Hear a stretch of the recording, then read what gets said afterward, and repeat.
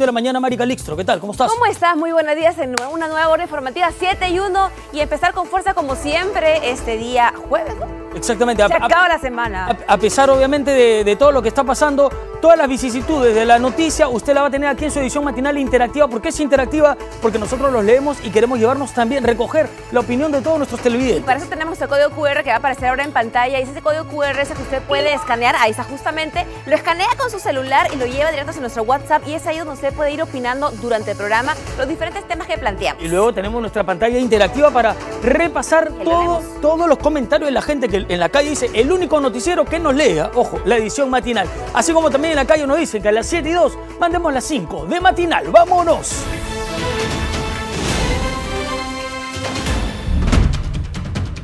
¡Uno! Policía es asesinado de cuatro balazos cuando estaba de civil en Barrios Altos. Al parecer, en trabajo de inteligencia. Horas después, se logró la captura de dos sujetos sospechosos en la muerte del suboficial de tercera. Dos. En operativo en San Juan del Urigancho capturan a Iván Quispe, hermano del cabecilla terrorista. Nos referimos a Víctor Quispe Palomino, tal como lo ha anunciado el ministro del Interior. Nos estamos refiriendo a Juan José Santibáñez. Sin embargo, también es importante decir que hay expertos que han salido a asegurar que todo está inflado y entre comillas, porque el detenido no es el número dos de Sendero Luminoso y descartan así que ocupe un cargo en dicha agrupación terrorista. ¡Tres! No fue drogada como pedían, derogada como pedían los gremios. Congreso ha aprobado finalmente cambios a la ley contra el crimen organizado para incluir delitos como extorsión, como secuestro, como sicariato, siempre que la pena mínima sea de cinco años. Cabe mencionar que también se eliminó la exigencia de contar con un abogado particular durante el allanamiento. Cuatro y cayó el Barbas venezolano que era una de las principales cabezas del tren de Aragua. El sujeto que era buscado en Chile por cinco asesinatos fue finalmente hallado ¿dónde? En el distrito de Los Olivos. Se ocultaba bajo la fachada de un humilde barbero. Su extradición hoy a Chile es cuestión de horas. 5. Trágico final. Ex integrante de la agrupación One Direction, Liam Payne, murió al caer desde el tercer piso de un hotel en la Argentina. Solo tenía 31 años de edad y al parecer sería producto de algunos excesos según los detectives argentinos. Cantante estaba por dar un concierto en Lima el año pasado, pero se canceló por problemas de salud.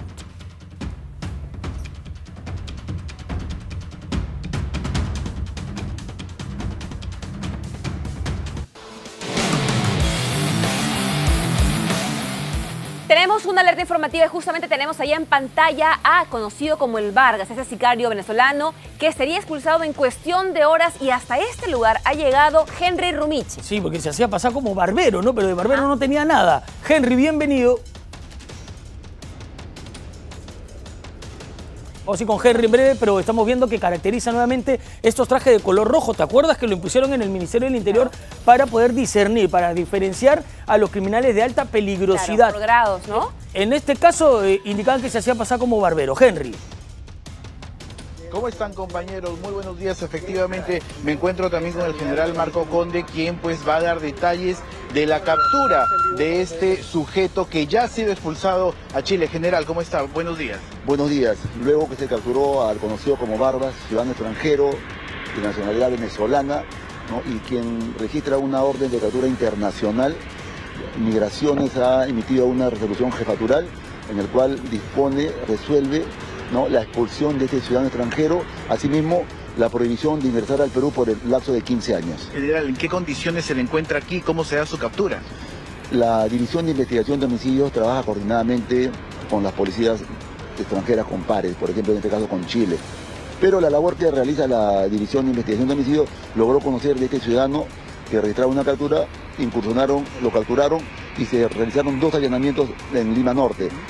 Y es por eso que el día de hoy luego de esta captura, luego de la emisión de la resolución jefatural, está siendo expulsado llevándose a la ciudad de Tacna, posteriormente a Chile, para que sea entregado a la policía chilena. un quíntuple asesinato es el que se le eh, adjudica a este sujeto que fue supuestamente en julio, pero él en una declaración difundida habla de que estaba en el país desde el 2018.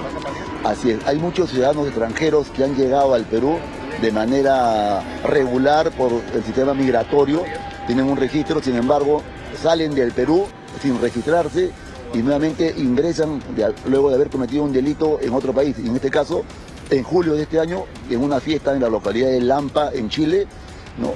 hubo un homicidio de cinco ciudadanos, cuatro varones y una fémina, para el cual está involucrado este ciudadano de acuerdo a las investigaciones que ha realizado PDI de Chile y en el cual se establece su participación y es por eso que tiene esta alerta roja y la captura internacional. Alias Barba supuestamente es parte del tren de Aragua. ¿Qué función cumpliría con esta organización? De acuerdo a lo que hemos coordinado con los pares chilenos, él es parte del tren de Aragua que está enquistado en Chile. En, en Chile, este tren de Aragua él sería el brazo armado, de acuerdo a lo que nos indican, y es por eso que hemos adoptado todas las medidas de seguridad conforme nos indicaron los colegas chilenos que es un sujeto muy peligroso. Si bien es cierto, desde 2018 está aquí, eh, ¿ha cometido algún delito, digamos? ¿Se, tiene conocimiento de, esta situación? Hasta el momento no hemos acreditado que haya cometido ningún delito, sin embargo, en alguna investigación que tengamos pendiente podría establecerse, ¿no? Eso todavía sigue en giro las investigaciones por otros actos criminales que se han cometido. Sin, lo, como le digo, en este momento está siendo trasladado a Chile por el delito que ha cometido en Chile. Un homicidio de cinco ciudadanos, cuatro varones y una fémina. muchísimas gracias. Bueno, esta es la información eh, que hace instantes ya está a punto de partir, está detrás de nosotros aún compañeros el avión que lo va a llevar hasta Chile. Esta, simplemente para terminar, es una expulsión. Ojo, es una expulsión porque existe una alerta roja de parte de Interpol. Va a ser llevado hasta Chile eh, para que ya sea juzgado. Eh, se está pidiendo cadena perpetua sobre este sujeto que está eh, condenado, digamos, está en una situación donde sería pues el asesino de cinco personas que participaban de una fiesta en el distrito de Lampa en Chile. Compañeros. Mira, y ha estado acá trabajando en la barbería en el distrito de Los Olivos, ahí conviviendo con tantas personas ahí que se han ido a atender y que ni siquiera sabían probablemente, ¿no? De su delinquir. Uno le dice, hazme un fe y dame la barba y no sabe quién te está tratando ahí.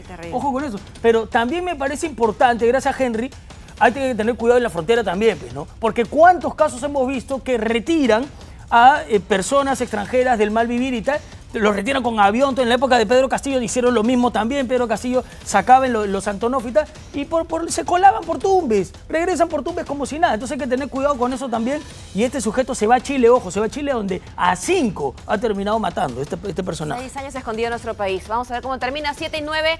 Les comentamos por otro lado también que en el corazón de Barrios Altos hay un policía terna que se estaba movilizando en moto. Estaba tranquilo cuando fue atacado lamentablemente, mortalmente a balazos. Se ha atrapado a dos sospechosos, pero tenemos la crónica completa.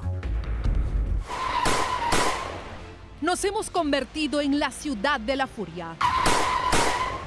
Un efectivo policial que ha sido abatido. Nadie está a salvo, ni los vecinos, ni tampoco la propia ley. Y es que este hombre que cae de su moto no es otro que un policía que fue acribillado de al menos cuatro balazos en el corazón de Barrios Altos. Los pocos testigos van en su auxilio, pero nada se pudo hacer. El AMPA volvió a ganar. Gente, acaban de matar a un terno acá en Guadalajara, Manuel Pardo, tengan cuidado. El cadáver del suboficial de tercera, Renzo López Reyes, quedó tendido en el cruce del Girón Manuel Pardo con el Girón Guamalíes, muy cerca a la avenida Bancay. En medio de la conmoción y el caos, los colegas de la víctima lograron montar un operativo y atraparon a dos sospechosos. Horas después lograron intervenir a un tercer sujeto identificado como Aarón Giancarlo Lozano Manríquez en una vivienda de la zona de Rizo en Lince. Según informó la policía, su ubicación fue descubierta gracias a la geolocalización de las conversaciones que mantenía con los dos primeros detenidos. En su poder se encontraron mensajes donde le decían que se mueva del lugar, así como videos del crimen en Barrios Altos. Se sabe que la víctima era miembro de la Brigada Especial contra el Crimen, pero también tenía algunas denuncias. En el 2015 fue denunciado por agredir a una policía al ser intervenido por manejar moto en estado de ebriedad. Asimismo, en el 2022, este suboficial fue acusado de haber realizado un parte policial falso para ingresar a una casa sin orden judicial y favorecer a un sujeto denunciado por su hermana. Mientras tanto, las investigaciones continúan para saber cuáles fueron los móviles de este crimen, pues se desconoce si Renzo Reyes estaba en su día de Franco o se encontraba en pleno trabajo de inteligencia. Tenemos información en vivo y Steve Romero ha llegado para cubrir qué más se sabe sobre este caso de policía. Steve, estamos contigo. Bienvenido, Steve. Mari y Julio, ¿cómo están? 7 y 12 de la mañana y nos encontramos en la sede de la Avenida España de la Dirincre en el cercado de Lima, donde se encuentran detenidos estos dos presuntos autores de la muerte del suboficial de tercera, eh, Renzo Jonathan López Reyes, quien lastimosamente perdió la vida tras recibir cuatro balazos en el cruce de los jirones Manuel Prado y Guamalíes en Barrios Altos, cercado de Lima, ayer. ¿Cómo sucedió esto? Y como bien se ha graficado en la nota, todo apunta hasta que, a que este oficial de tercera se venía, pues, eh, o venía realizando trabajos de investigación en la zona. Es más, el primer detenido, Aarón Lozano Manrique, de acuerdo a las investigaciones preliminares, no es quien habría realizado los disparos, sino quien era el objetivo de la investigación del suboficial de tercera López Reyes. Luego es que a esta persona se le detiene y se le encuentran videos del asesinato del policía. También en el celular de este primer detenido es que se encuentran conversaciones con un segundo tipo que sí habría realizado los disparos a quien le solicitaba o eh, le sugería que escape de la zona. Esta persona fue, eh, o mejor dicho, escapó desde el Agustino hasta el distrito de Lince, donde finalmente fue capturado y dirigida a esta sede de la Dirincri. El suboficial eh, de tercera eh, pierde la vida 24 horas después de que en el sector de Manzanilla, también el cercado de Lima, casi ocho efectivos del grupo Terna sean masacrados por personas de la zona. Ahora, no es una casualidad, y ojo, no es una casualidad que tanto el policía asesinado de ayer como los tres policías que terminaron policontusos el día de antes de ayer sean suboficiales de tercera. La pregunta del millón es, ¿se están ejecutando bien los operativos? ¿Se están realizando bien estos operativos? ¿Quiénes están a cargo de estos? Porque el suboficial de tercera es aquel policía que está no necesariamente ha salido recién de la escuela de suboficiales, sino que es el primer grado. Entonces, ahí también tiene que haber una gran, eh, un gran trabajo de la Policía Nacional del Perú. El ministro del Interior ha indicado o ha solicitado a los policías que usen su arma de fuego. Sin embargo, estos no la usan por miedo a que las mismas leyes terminen culpándolos de alguna consecuencia. En el sector donde falleció este policía, se encontraron siete casquillos de bala, de los cuales cuatro proyectiles terminaron con la vida de este suboficial. Las investigaciones se siguen realizando aquí, reiteramos, en la sede de la IRINCRI. Nosotros estamos a la expectativa de nueva información que sea determinante. Y la pregunta del millón es, ¿cuándo acabará esta violencia que sigue terminando con la vida, no solo de ciudadanos, sino también ahora de Policía Nacional del Perú, compañeros. Tal cual, tal cual, Steve. Eh, entonces es importante lo que viene gestándose en la sede de investigación criminal de la Policía Nacional. Importante también lo que mencionas, claro, hay una directiva, disparen al delincuente. Pero ¿hasta qué punto esto, más allá de la teoría, se puede ir a la práctica? Porque recordemos cuántos policías tienen procesos abiertos, terminan pasándola muy mal días, semanas o años después de que realmente, eh, tal vez en legítima defensa, ultiman a una persona, a un delincuente, un impresentable que también estaba con arma todo, pero terminan pagando los platos rotos a la policía. ¿Cómo es el riesgo del policía además, no? Porque él está llenando un trabajo de inteligencia, se está ahí mimetizando con, ahí con las personas en el lugar y finalmente termina asesinado. Sin embargo, sobre este tema y más también, René tiene buena información. Muchas gracias compañeros, efectivamente para darle voz a la policía, un actor clave con sus aciertos y errores en la lucha contra la delincuencia, pero que no puede manifestarse de manera plena porque mientras están en actividad no pueden, pues. Hemos invitado al doctor José Antonio Palacios, abogado y policía en retiro, director del programa La Voz del Policía, para hablar de estos temas. Buenos días, doctor Palacios. René, muy buenos días, saludo de los buenos policías y honor y gloria a nuestros hermanos policías caídos en cumplimiento de su deber. Exacto, y hablamos de varios policías caídos en el cumplimiento de su deber, masacrados en Manzanilla, por ejemplo, por la ciudadanía. Acaban de asesinar a un policía el día de ayer. López Reyes, su oficial de segunda.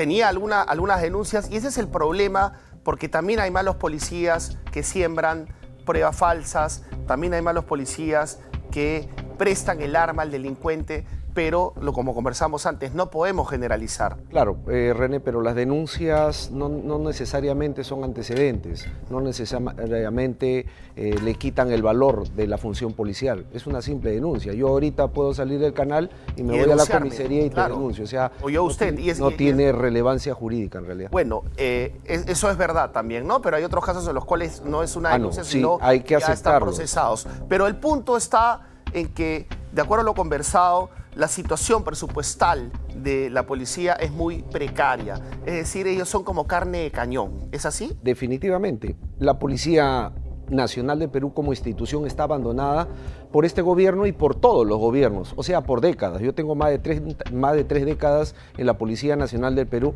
y lamentablemente ningún gobierno se ha preocupado por equipar a la policía, por darle los implementos necesarios para el cumplimiento de sus funciones. Es más, hasta la parte legal está completamente abandonada. O sea, cuando un policía hace, por ejemplo, antes de hablar de la precariedad de los patrulleros, las armas, cuando un policía, por ejemplo, eh, usa su armamento de reglamento, ¿no hay abogados que lo defiendan?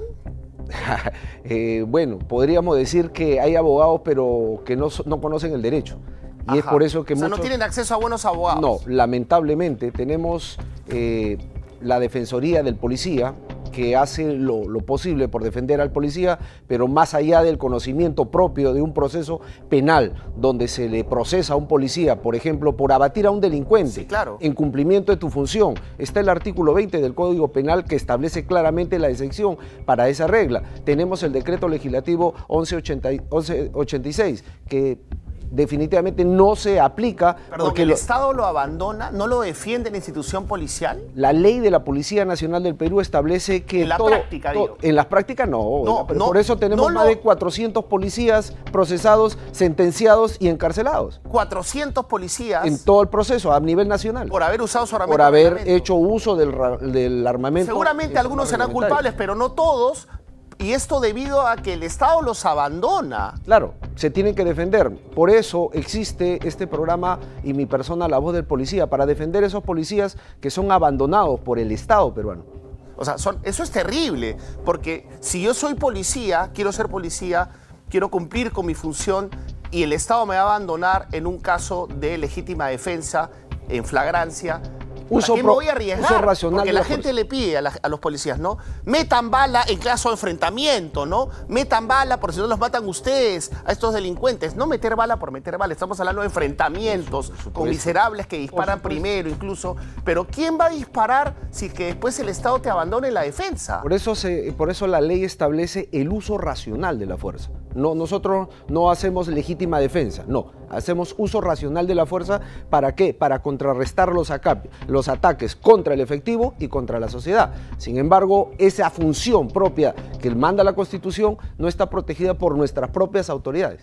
O sea, eso es increíble. O sea, es increíble que los policías no cuenten con una defensa adecuada, porque mucho se habla de las ONGs que defienden a personas abatidas por policías y están en todo el derecho porque puede ser que los policías cometan abusos o se excedan. O exceso. Puede ser, ¿no? puede ser.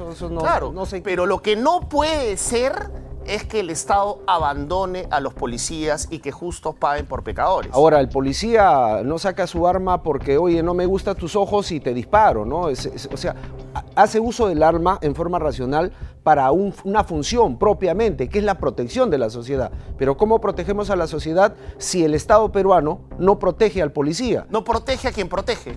Definitivamente. Claro, el Estado no se protege a quien protege. Ahora, por ejemplo, ¿cuál es su opinión sobre lo que ocurrió en Manzanilla? No sé si podemos poner las imágenes, porque ahí estamos viendo a cuatro ternas que podrían haber usado su armamento de ley pero no lo usaron. ¿Por qué cree usted pero que no, no, lo usaron? No solamente no usaron el armamento de ley, posiblemente no lo tenían. Ajá. Y además de ello, lamentablemente, y lo digo con mucha pena como policía, el policía no tiene ningún medio de seguridad para él propia. Todos los agentes de seguridad, tú te vas a cualquier parte Pero no lo tenían por estrategia. No, no, deberían tenerlo. ¿no? Deberían, claro, todo policía, todo policía, de acuerdo a nuestra ley de la Policía Nacional del Perú, se le debe afectar un arma no solamente para el servicio, debe ser permanente. Sin embargo, en la policía hay una discriminación. Solamente le afectan el arma permanente a los oficiales.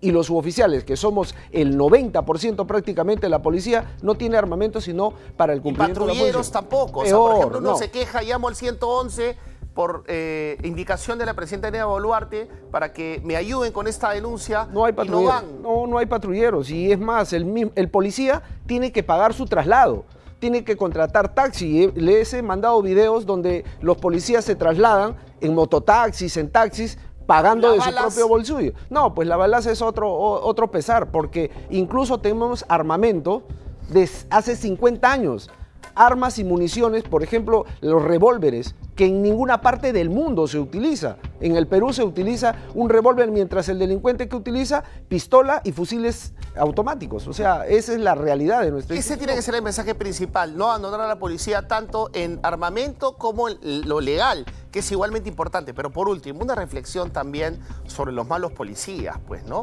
Porque tengo también, nos han llegado varias denuncias de personas extorsionadas que acuden a la policía y los policías están metidos, están metidos en la extorsión e incluso acabamos de ver cómo en Huaraz alquilaban las armas por 50 soles o inclusive armaban falsos atestados para eh, falsos positivos, como se dice. Pero esa es falta de control del alto mando de la Policía Nacional y el comando de la Policía Nacional de Perú, porque si el general es delincuente, es corrupto y se ha, se ha enriquecido con esta situación que vive la policía y utiliza la policía como su chacra, definitivamente, ¿qué podemos esperar de los demás? O sea, por ejemplo, tenemos un comandante general que tiene procesos comandante general que tiene procesos por delito de corrupción. ¿Señor Sanabria? El señor Víctor José Sanabria Angulo. Tiene delitos por corrupción, no por abuso de autoridad, sino por corrupción. Y lo tenemos de comandante general. ¿No debería estar ahí? O, definitivamente, él, él es el único responsable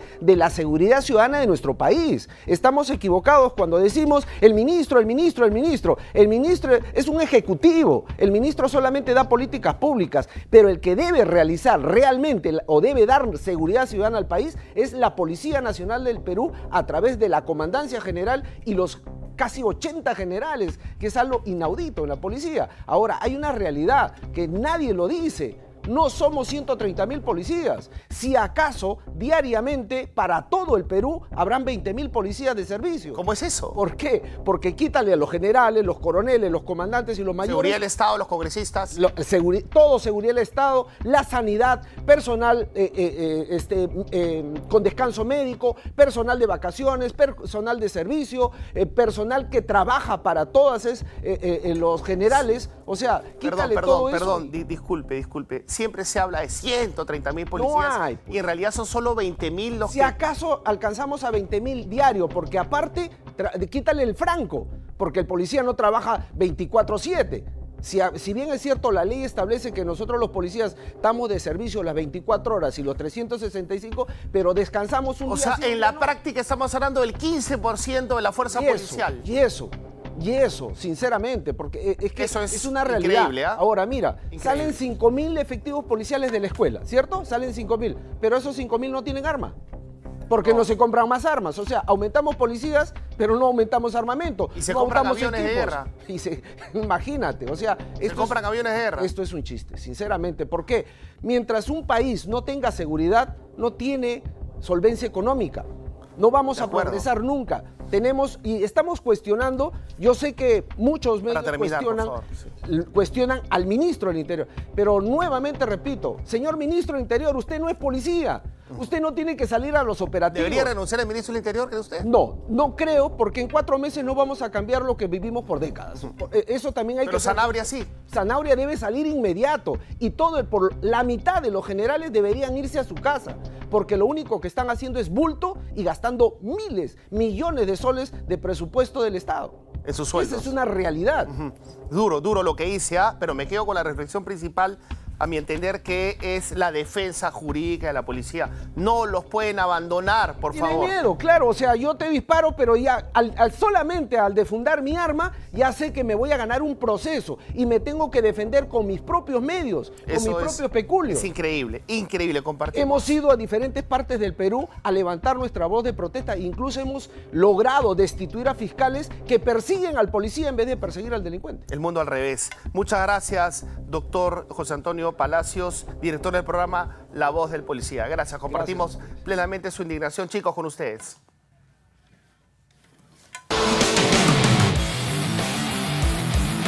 Muy bien, vamos a ir ahora con una alerta informativa porque el ministro del Interior, polémico ministro del Interior con cada vez menos popularidad, ya no irá a una actividad que había estado pronosticada con el alcalde de Magdalena, Sofía Gallegos, ha llegado a este lugar? Porque ¿qué pasó? Al final, ¿por qué se canceló? Redes y todo, ¿no? Con todo, con bombos y platillos. Y a ver, Sofía, aquí se tiene la respuesta. ¿Qué pasó, Sofía?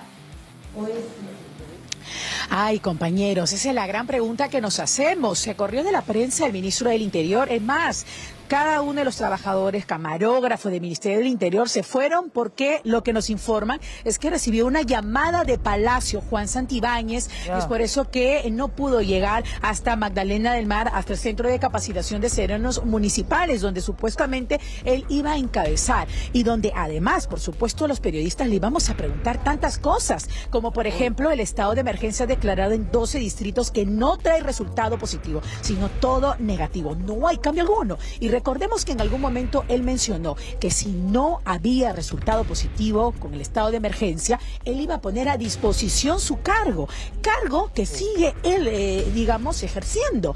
Y además de ello, por supuesto, con respecto a esta detención a Iván Quispe Palomino, que le había catalogado como el segundo, ¿no? La cabeza dos, ¿no? Digamos, de Sendero Luminoso y que luego se llevó a cabo a ciertas requisitorias que ya se han cumplido, pero que dice que está vigente y muchas cosas de detrás, por supuesto, que era para consultarle, que es lamentable porque ya en los cinco meses que lleva frente a la cartera no hay solución. Muestra de ello también es que el señor Vladimir Cerrón está prófugo. Tantas consultas que parece ser que esto desanimó al ministro del Interior, o en todo caso, aún desconocemos los motivos por el cual ha sido citado en Palacio de Gobierno, que ya lo sabremos más adelante. Mientras tanto, ya aquí en el lugar, el alcalde de Magdalena, Francis Allison, va a encabezar la presentación de lo que es el Centro de Capacitación de Serenos Municipales, compañeros.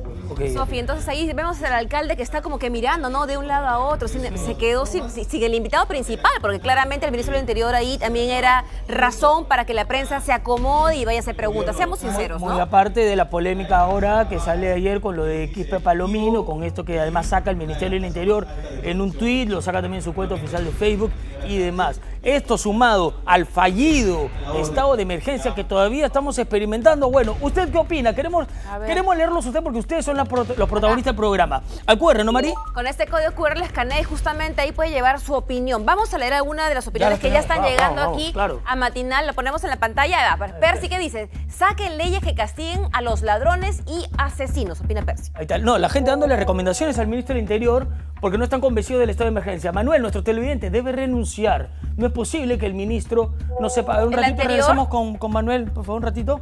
A ver, eh, que no sepa nada, dice el ministro, sobre los cabecillas de Brian. Parece que lo están eh, manteniendo mientras buscan otro que se preste para no capturar a Cerrón, dice. Claro. A ver, ¿qué opina ahora sí Marlena? Ahí pone, ¿no? Sí, debería salir el ministro por incapaz y querer hacer quedar bien el pueblo. Cada día caemos en la extorsión, delincuencia y asesinatos ¿Hasta cuándo? Se pregunta Marlene. Como casi todo el Perú, Mónica, a TV Matinal, debe renunciar, que tenga un poco de vergüenza y lo haga. Esto que ha hecho con la farsa de la captura del supuesto cabecilla Sendero es la gota que rebalsó el vaso para su incapacidad como ministro. Y justamente quizás ese era el temor, no querer responder la gran pregunta, ¿no? Quizás por eso no habrá ido, no lo sabemos. Lo cierto es que no está ahí junto al alcalde. José Martín dice, no señores, no se debe esperar la renuncia de este ministro, y entre comillas, eso implicaría sentido común y honradez que el señor Santibáñez no tiene. Debe ser expulsado, lo que dice Ah, José. Martín. O sea, no, no esperar a que renuncie, expulsarlo. Expulsarlo, ¿no? Expulsarlo del Consejo de Ministros es lo que dice nuestro televidente. Opina.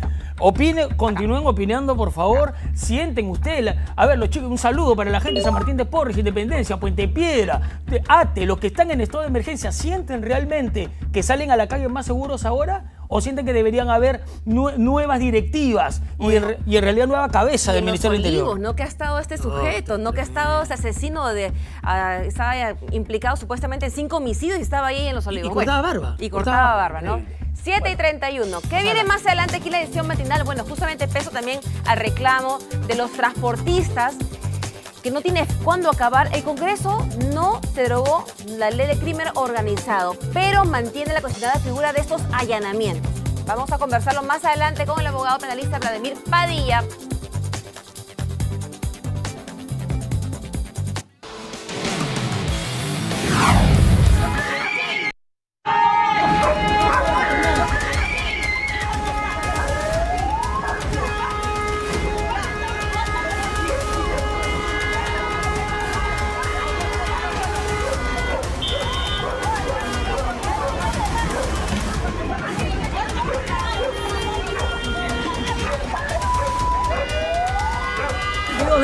Tenemos una alerta informativa con este video es, y estas imágenes de horror.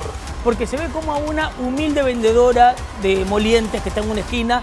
¿Cuánta gente, cuántos cerebros, bueno, fiscalizadores, fiscalizadores ¿ah? de este distrito de la Victoria, cuántos allí para levantarse a la señora, que la señora está luchando, batallando, porque no solamente se le lleva en el carrito de molientes, se le lleva la vida entera, porque de eso vive la señora, y uno no se explica cómo están matando gente, están extorsionando todo, y a la Pero- señora que está en la esquina se la llevan así. Pero además porque la señora también asegura tener todos sus documentos En en regla. regla, tener la autorización para estar ahí. Ese carrito es el sustento de sus dos hijos, su hijo de 14 años, su Sí. menor también tiene, ¿no? Pero además que sea parte de su vida, vamos, así que ella tiene los trámites, ¿por qué se llevaron su carrito? Es la pregunta, Pero ¿no? porque hay como 8, 9, 10 fiscalizadores más, creo, hasta más.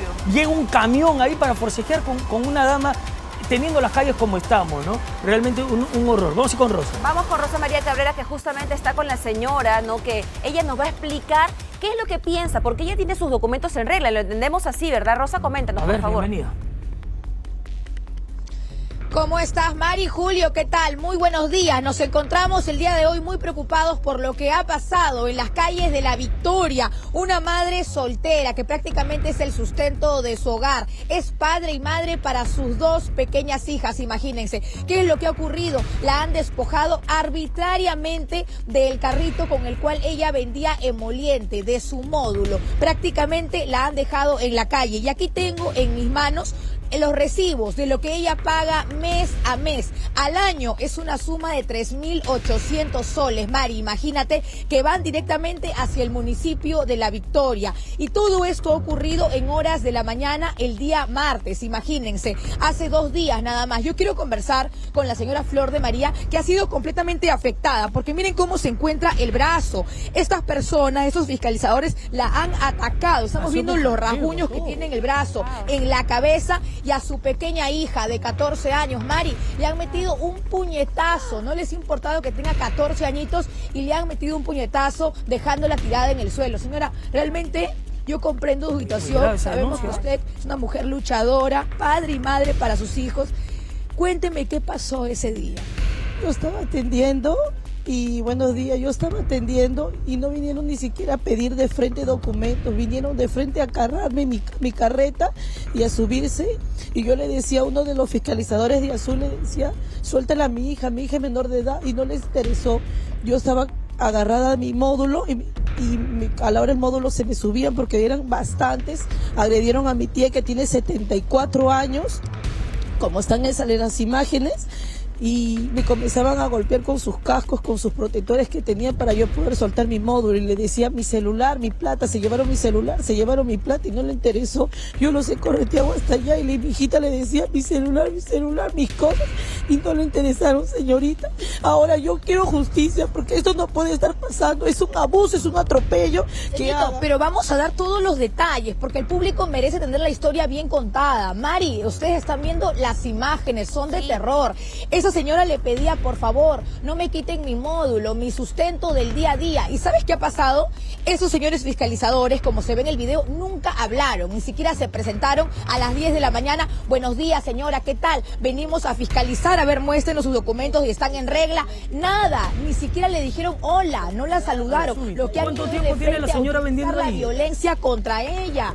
Señora, ¿hace cuánto tiempo usted vende moliente junto a su hijita? ¿Hace cuántos años? Más de siete años, señorita. ¿Siete Más de siete años. Usted siempre ha tenido el permiso del municipio. Aquí tiene, por ejemplo, algunos documentos. Quiero que me explique qué es lo que puede mostrarnos, porque estamos viendo recibo del mes a mes. Sí, de residuos sólidos de este mes. Este es el 31 soles mensuales. Depende de cuántos al mes, cuántos, este, si hay 30, 31, si hay esto, este es mes y este es el convenio que nos hacen pagar. Ahí está. ¿Convenio con quién es eso? Acá yo veo que en el convenio hay un convenio por si acaso, Mari, por si acaso, acá lo vamos a mostrar ya para que lo puedan tener bien claro. Vamos a leer. La Asociación de Molienteros de la Victoria tiene que pagar un aporte económico de 280 mil soles al año. Imagínate, 280 mil soles al año que pagan cada uno de los molienteros que trabajan aquí. Esa es la asociación, pero la señora mes a mes está pagando también una suma de 50, 70 soles, dependiendo. Ahora, Mari, hay que dar un detalle importante. La señora está al día, tiene acá sus documentos. ¿Jamás te pidieron esto? No, jamás me pidieron eso, señorita. No me han pedido nada. Ellos han venido de frente, han bajado como sale en el video, de frente a agarrar mi módulo y a llevarse todo, como si fueran, como si nosotros fuéramos qué. Eso es lo que yo no entiendo. Y a tu niña, yo veo que tu niña en todo momento aquí se aferra, se aferra al módulo para que no se lo quiten. ¿Y, qué pasó? Ella estaba acá agarrando el módulo y uno de fiscalizadores la hacía así, la jalaba y yo le decía, suéltala, suéltala, mi hija menor de edad. Y el, otro video sale y me dice, denúnciame. Le dije, te voy a denunciar y me, todavía me dice, denúnciame. Y él agarraba y la zamaqueaba como sale ahí en el video y la agarra así. Y uno de ellos le mete un puñete y mi hija estaba sangrando y yo estaba en el otro lado agarrándome y tirada así con el módulo. ¿Tú te caíste? ¿Te caíste la pista? Sí, me resbalé porque todo esto estaba tirado y mi hija también sale que se resbala y se cae. Y yo también con el módulo agarrando, me caí, me resbalé. En estos siete años, Julio, en estos siete años que ella viene trabajando, jamás le ha ocurrido algo parecido, nunca la habían agredido. Pero ya para finalizar, y acá tengo al doctor Mario Arribas, ¿cuál cree que es el delito frente a esta historia que hemos presentado en el matinal, caballero? Muchas gracias. El delito acá es lesiones dolosas graves y el Ministerio Público en forma dolosa, colusiva, lo ha calificado como un delito de abuso de autoridad pretendiendo que salgan en libertad. Claro, abuso de autoridad es lo que están indicando según las investigaciones.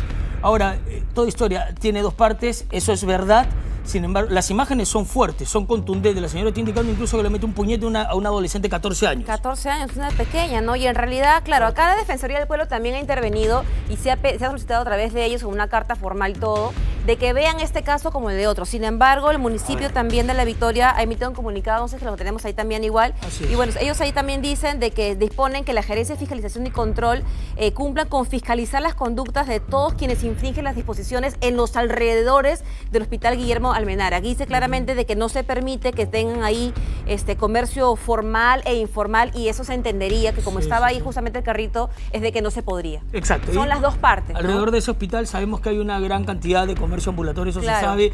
También se sabe que hay una política por limpiar un poquito las calles, porque por adecentarlas perfecto.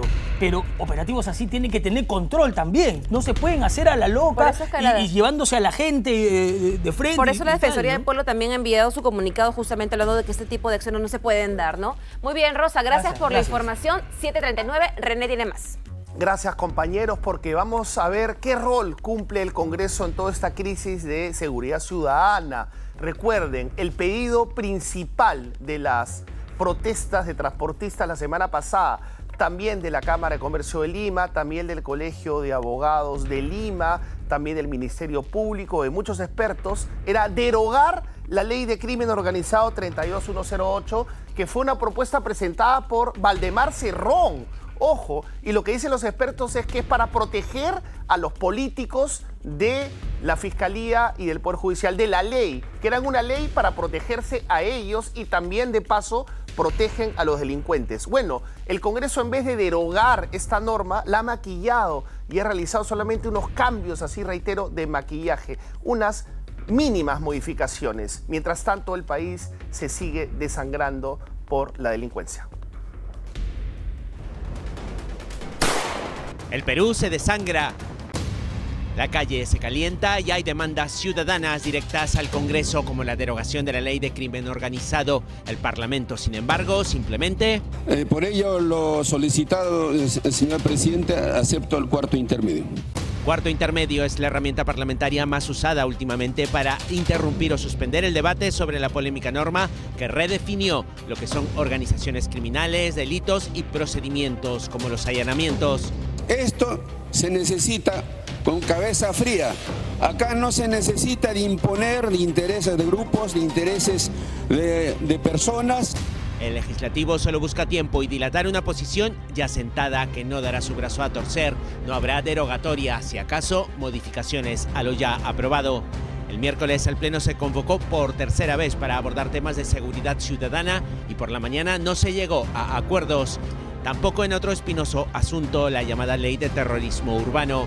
La sesión comenzaba con somnolencia y con quejas. El texto sustitutorio alcanzado a los congresistas no era el que se había consensuado en la Junta de Portavoces, lo que causó, primero, advertencia. Planteo que nos autoconvoquemos inmediatamente la Comisión de Justicia y tratemos el nuevo texto sustitutorio y, si es posible, la censura del presidente, señor presidente. Luego se materializó la moción de censura para Isaac Mita, presidente de la Comisión de Justicia. Tardaron mucho menos que para asimilar iniciativa contra el cuestionado Juan José Santibáñez, a pesar de la delincuencia en las calles. Nuestra moción de censura contra el ministro del Interior tiene ya alrededor de 19 firmas. No sé qué está esperando este Congreso para devolverle la responsabilidad a quien desde un principio no ha hecho absolutamente nada. El dejar en manos de las Fuerzas Armadas el control interno del país es un as bajo la manga que ha sacado el gobierno, que es visto no con malos ojos en el Congreso. Pero creo que las Fuerzas Armadas no pueden estar encerrados en sus cuarteles mientras hay una situación compleja. Las Fuerzas Armadas pueden ayudar a resguardar edificios, infraestructura crítica, caminos, edificios, ¿no? Durante la tarde se aprobó el tema del terrorismo urbano, ahora llamado criminalidad sistemática. Estoy acá con el abogado Vladimir Padilla para hablar del tema. Buenos días, pero quiero que nos acompañe a escuchar algunos de los sustentos de los congresistas. A veces eh, la verdad sale, sale tras bambalinas y se les escapa. Vamos a escuchar al congresista Ilich López de Acción Popular cómo justifica el hecho que no se derogue esta norma. Aquí está tal vez eh, plasmada crudamente la verdadera razón detrás de esta norma. ¿Para qué crearon esta norma? Vamos a escuchar. En que la Comisión de Justicia deba derogar este numeral 7 del artículo 2, que es básicamente el cuestionamiento que un abogado tenga que estar ah, en el momento del allanamiento. Porque eso a qué conlleva? Como ya hemos aprobado en una primera votación la ley que endurece las sanciones a jueces y fiscales cuando liberan a delincuentes, ¿qué es lo que va a pasar ahora? La presión mediática con los malos fiscales, prepárense colegas, van a mandar allanamientos a cualquiera de los colegas congresistas para que tuerzan sus voluntades. Entonces hay que decir las cosas claras. Eroguemos esa parte para que no haya pretexto de socavar el procedimiento. Las cosas claras, como hemos escuchado, doctor Padilla, son que se están protegiendo. Están protegiendo a potenciales delincuentes políticos y de paso protegen a los delincuentes comunes. O sea, porque lo, acaba de decir Ilich, López, de Acción Popular. Esto es para proteger a nosotros, para que no nos allanen. ¿Qué le parece? Es que obviamente el trasfondo y la realidad es que esta ley no protege a la ciudadanía, no protege a las personas que en realidad no tienen nada que temer. Esto simplemente ha sido pensado para proteger a los que están en crimen organizado. ¿Por qué? Pero pensado para proteger a los que están en crimen organizado de la política y de paso se protege a los extorsionadores, por ejemplo. A los extorsionadores. Pero ¿cuál es el espíritu? Proteger a los políticos, a sus líderes y a ellos mismos. Lo acabamos de escuchar. Pero es obviamente porque no están pensando en el común de la gente, están pensando en ellos. Oye, ¿cómo hacemos para desaparecer los procesos que tengamos de cara para las siguientes elecciones, poder ir blindados y que nadie nos incomode? Y eso, el número mágico que nadie dice y oculta es, ¿por qué en esa ley de crimen organizado no puede ser crimen organizado aquellos delitos cuya pena mínima sea seis años y ahora lo han cambiado cinco? ¿Sabes por qué es el número cabalístico? ¿Por qué? Minería ilegal. Ajá. Minería ilegal va a una pena curiosa. Un delito tan grave va de 4 a 8 años. ¡Cuatro!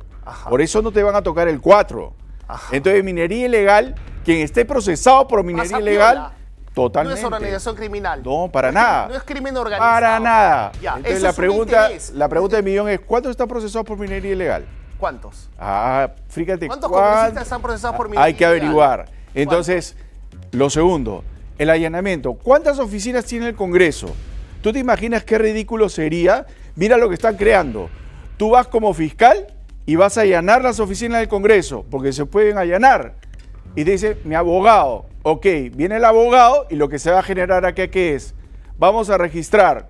Y te van a decir un momentito, yo soy un abogado y si quieres registrar oficina por oficina, tendrías que esperar que el abogado vaya contigo oficina por oficina. Es decir, el allanamiento, ¿cuánto se va a demorar? Claro, pero eso es lo que dicen que han cambiado ahora. No, no ha cambiado para No nada. han cambiado, o sea, igual va a Y, seguir. pe- y peor, porque tú tienes que decirle al juez que el juez avise al ministro de Justicia para que a su vez avise a la Defensoría Pública para que él avise a un defensor público. Es decir, ¿Estamos hablando de los congresistas o de la ciudadanía en general? de la ciudadanía en general. Entonces, ¿qué quiere decir?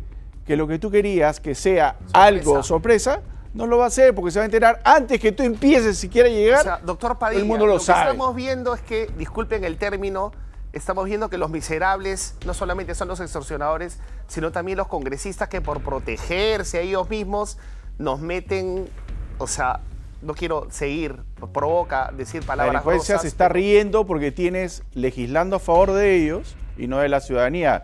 Y date cuenta, desde que se ha cambiado la ley, el crimen ha crecido. ¿Por qué? Porque simplemente ellos saben que están blindados y que esto no va a ¿Hay una, cambiar. relación- ¿Hay una causa eficiente ahí? Pero totalmente. Y es más, y fíjate tú, para el Congreso, el ministro del Interior está simplemente ensayando, déjalo ahí. Viene, mira, ¿cuál es el razonamiento? Viene la PEC, déjalo ahí, va a ser peor. ¿Qué quieren? Que las cosas se agraven.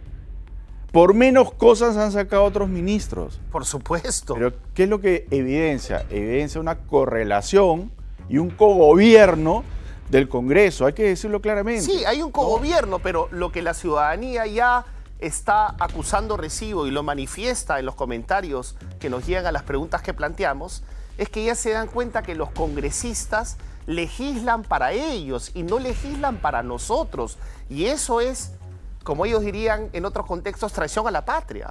están generando impunidad a favor de ellos mismos, porque no están colocando en sí. Por ejemplo, ¿te interesa legislar a favor del pueblo? Mañana mismo, hoy, que empiecen a legislar que todo aquel congresista que moche el sueldo de sus trabajadores, cadena perpetua. Porque no Tiene lo sacan. muerte ya, como les Ya, gusta. ¿Por qué no lo sacan? Claro. Porque obviamente puede ser ropa tendida, ¿te das cuenta? Entonces eso no lo van a sacar. Igual, ¿por qué razón otro tipo de... Y acá estás viendo Sí, toda la cantidad de normas. Quiero, quiero mostrarles la, la cantidad de normas, ¿no? Empezamos con la ley. Estas son las normas. Escuchen, eh, amigos y amigas televidentes. Estas son las normas, el paquete normativo que ha aprobado este Congreso que se autodenomina el primer poder del Estado que son nuestros representantes en democracia representativa, pero que no legislan para nosotros, para todos, no legislan para el bien común. Escuchemos, presta atención. La ley 31751, la, la- la llamada ley Soto en honor al expresidente del Congreso, consiste en la manipulación de los plazos de prescripción para salvarse de procesos penales. O sea, la prescripción llega más rápido, ¿no? La ley 32104 salió para apoyar la ley Soto y obligar a los jueces a que acaten la ley anterior, la 31751, y que se les recorte su discrecionalidad, o sea, el margen de maniobra de los jueces. La ley 31990 recorta los plazos en los procesos de colaboración eficaz, lo que impide la labor de investigación de la Fiscalía. Es decir, si es que te demoras mucho en colaborar, ya no puedes colaborar. Ley 32108, que es lo que nos ha convocado, doctor Padilla, modifica el concepto de organización criminal y obliga a que los allanamientos se realicen con presencia del acusado y su abogado, justamente lo que usted estaba explicando. La ley 31989 impide la incautación del material usado en la minería ilegal, explosivos y armas. Nuevamente, la minería ilegal. ¿Qué interés tienes para legislar a favor de la minería ilegal que tanto daño hace al país? ¿Qué interés, pues? Hablemos Ah, claro. Hay un interés económico. Entonces te Claro. está diciendo que la minería ilegal te pone en la agenda del día.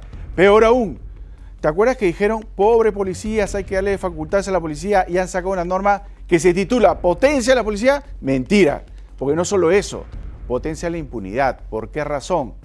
Te dicen, nunca ha existido en el Perú que cuando un fiscal te acusa, y hemos visto que dura años una acusación, y el juez lo aprueba, te vas a juicio. Han sacado una norma que dice que puedes apelar eso. Con lo cual te va a demorar más. Se refiere a acabas la de- norma, a la última, este paquete Claro. que, no está, que le devuelve a la policía la, coma- el Sí, comando de la investigación. Pero eso es solamente un engaño a muchachos, porque esa era, digamos, la, la máscara con la que la gente le dice, hemos sacado a favor de la policía. Mentira, porque de contrabando lo que han sacado es más leyes de impunidad, porque están poniendo normas que están dilatando el proceso. Es decir, hicieron una campaña en contra del código y ahora este código tan malo lo han maquillado para que antes era célere y ahora lo están volviendo lento, para que sea largo y para que prescriban los casos. ¿Y quién va a ser el culpable? El Poder Judicial.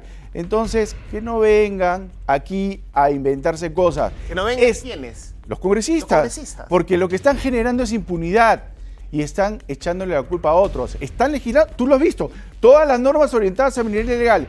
¿Y por qué la minería ilegal, en vez de poner mayores penas a ellos, la flexibilizan? Y te, te doy otra. El artículo, el numeral octavo de una norma del Código Procesal Penal, ¿por qué no lo deroga? ¿Sabes por qué? ¿Pero qué dice ese numeral octavo? Ese numeral octavo dice que si tú eres minero ilegal, tú puedes decirle al fiscal, ¿sabes qué? Quiero que me perdone, me voy a formalizar y ya no te persiguen.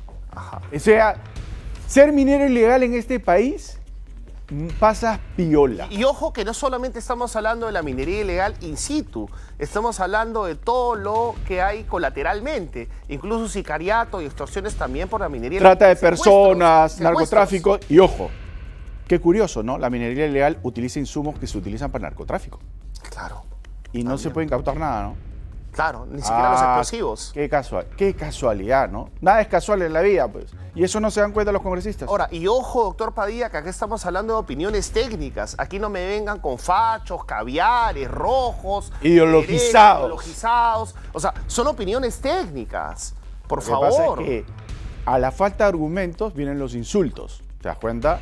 Y en realidad están deshaciendo esto porque, como te digo, saben muchos que es la última oportunidad que van a tener para poder candidatear.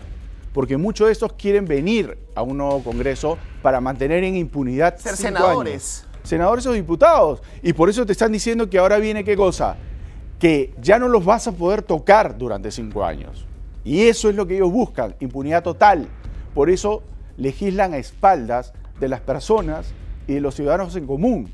Esa es la única realidad. No les preocupa en lo absoluto el país. El bien común es una un- una cosa así. Ah, están legislando a favor de ellos y por esa razón tienen 100 mil personas y gastan lo que gastan, ¿te das cuenta? ¿Y usted cree que la presión social es legítima? O sea, porque no estamos hablando acá, por ejemplo, tenemos hasta congresistas como el eh, como congresista Perú Libre, este, Américo Gonza, por ejemplo, que llama caviares hasta la Cámara de Comercio de Lima, al Colegio de Abogados de Lima, que son instituciones que desde el punto de vista técnico se oponen o exigen la derogatoria de la ley 32108. Es que no me extraña, ¿por qué? Porque le estás pisando los callos. Porque obviamente, ¿qué te va a decir? Lo único que te queda es el insulto. Porque obviamente no les conviene que se derogue eso, porque obviamente hay un detalle, las organizaciones criminales no desaparecen de la noche a la mañana, permanecen en el tiempo. Entonces, si tú las derogas, vas a permanecer, entonces saben que se van a mantener en el tiempo y por tanto pueden ser perseguidos nuevamente. Y es ahí donde ellos no quieren, quieren que mantenerse este manto de impunidad. He ahí los insultos y Y lo ahí que el hay. problema. Y por eso es que fuerzas políticas en campaña antagónicas acá se unen. Así es. Acá hay consenso en desmedro de la ciudadanía. Totalmente. Por último, ¿cree usted que la presión social eh, que está, digamos, tratando de ser eh, criminalizada por los congresistas eh, va a lograr que se derogue esta ley? 130 congresistas no hacen un verano y definitivamente hemos visto las expresiones voluntarias sin ningún tipo de llamamiento, sin ningún tipo de interés político.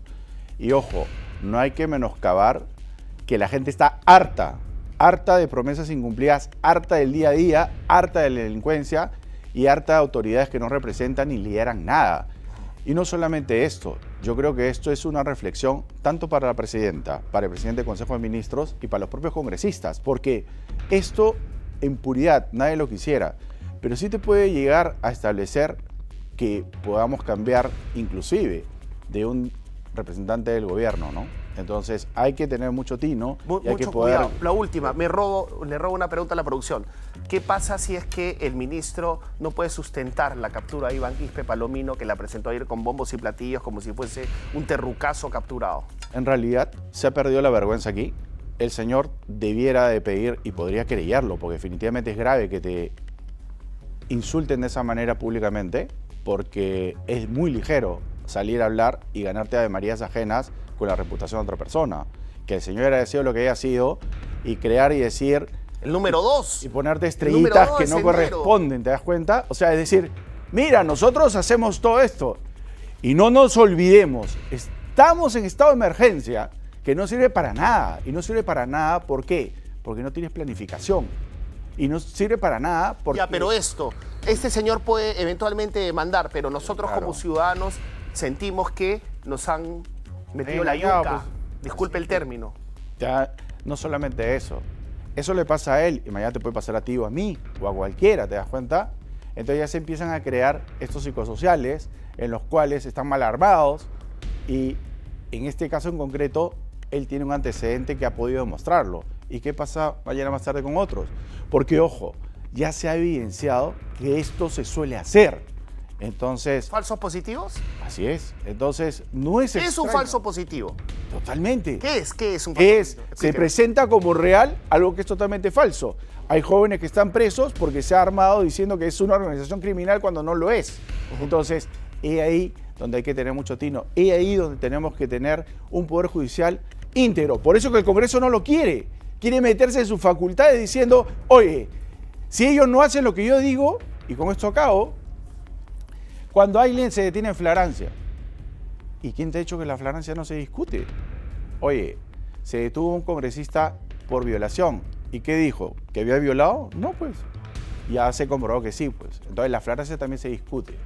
Que no sean ignorantes. Y en ese sentido en concreto es, empecemos por la minería ilegal. Claro, los pero le quiero arrancar una reflexión que es eh, importantísima también antes de terminar. Es que la policía tiene miedo de usar sus armas de reglamento porque nos acaba de decir una persona que defiende a los policías, el doctor José Antonio Palacios, que eh, dirige el programa La Voz del Policía, que el Estado no defiende a los buenos policías. No hablo de meter bala por meter bala, hablo de policías que están siendo masacrados o que están en un enfrentamiento y que temen usar su armamento de reglamento porque el Estado los abandona en su defensa jurídica. es que ahí te das cuenta que comen pollo y eructan pavo. ¿Qué te quiero decir con esto?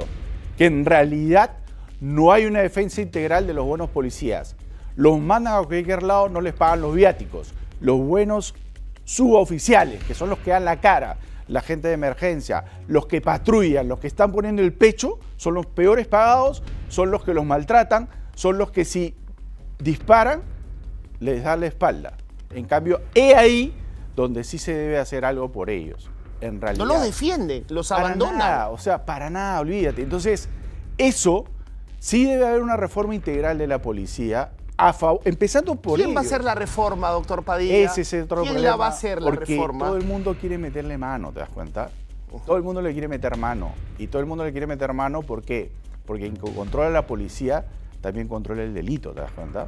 Claro. Y controla la Ah, impunidad. y por eso es que le quieren quitar poder a la fiscalía. Y por eso quieren hacer también la reforma del sistema judicial, porque ahí quien controla mete a su gente y por, también quieren meter Junta Nacional de Justicia. Digamos las cosas claras, porque no hay claridad en el tema. O sea, acá no es amor al chancho, sino al chicharrón.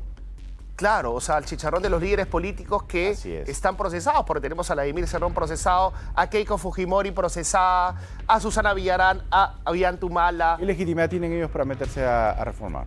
Por supuesto, es bien complicado. Ellos dicen que somos el primer poder del Estado, tenemos las facultades. Es que tienen las facultades.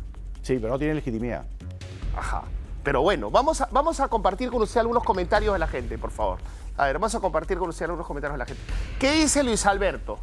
El ministro del Interior debe de renunciar. El estado de emergencia no sirve para nada. Siguen matando gente a diario. Lo que deberían promulgar es la pena de muerte para aquellas personas que traicionan a la patria, incluyendo el Ejecutivo y Legislativo, que son los principales eh, que cometen delitos. Y este es el problema, pues. Viene acá un congresista, ¿no? Viene acá un congresista que lo entrevisté la vez pasada. Pena de muerte. Ya, provoca. Pero la pena de muerte también el pueblo quisiera para ellos. Y ese es el peligro, ¿no? Que empiecen dando el ejemplo, ¿te das cuenta? Claro. O sea, quien lidera debe demostrar con su ejemplo lo que el resto debe hacer.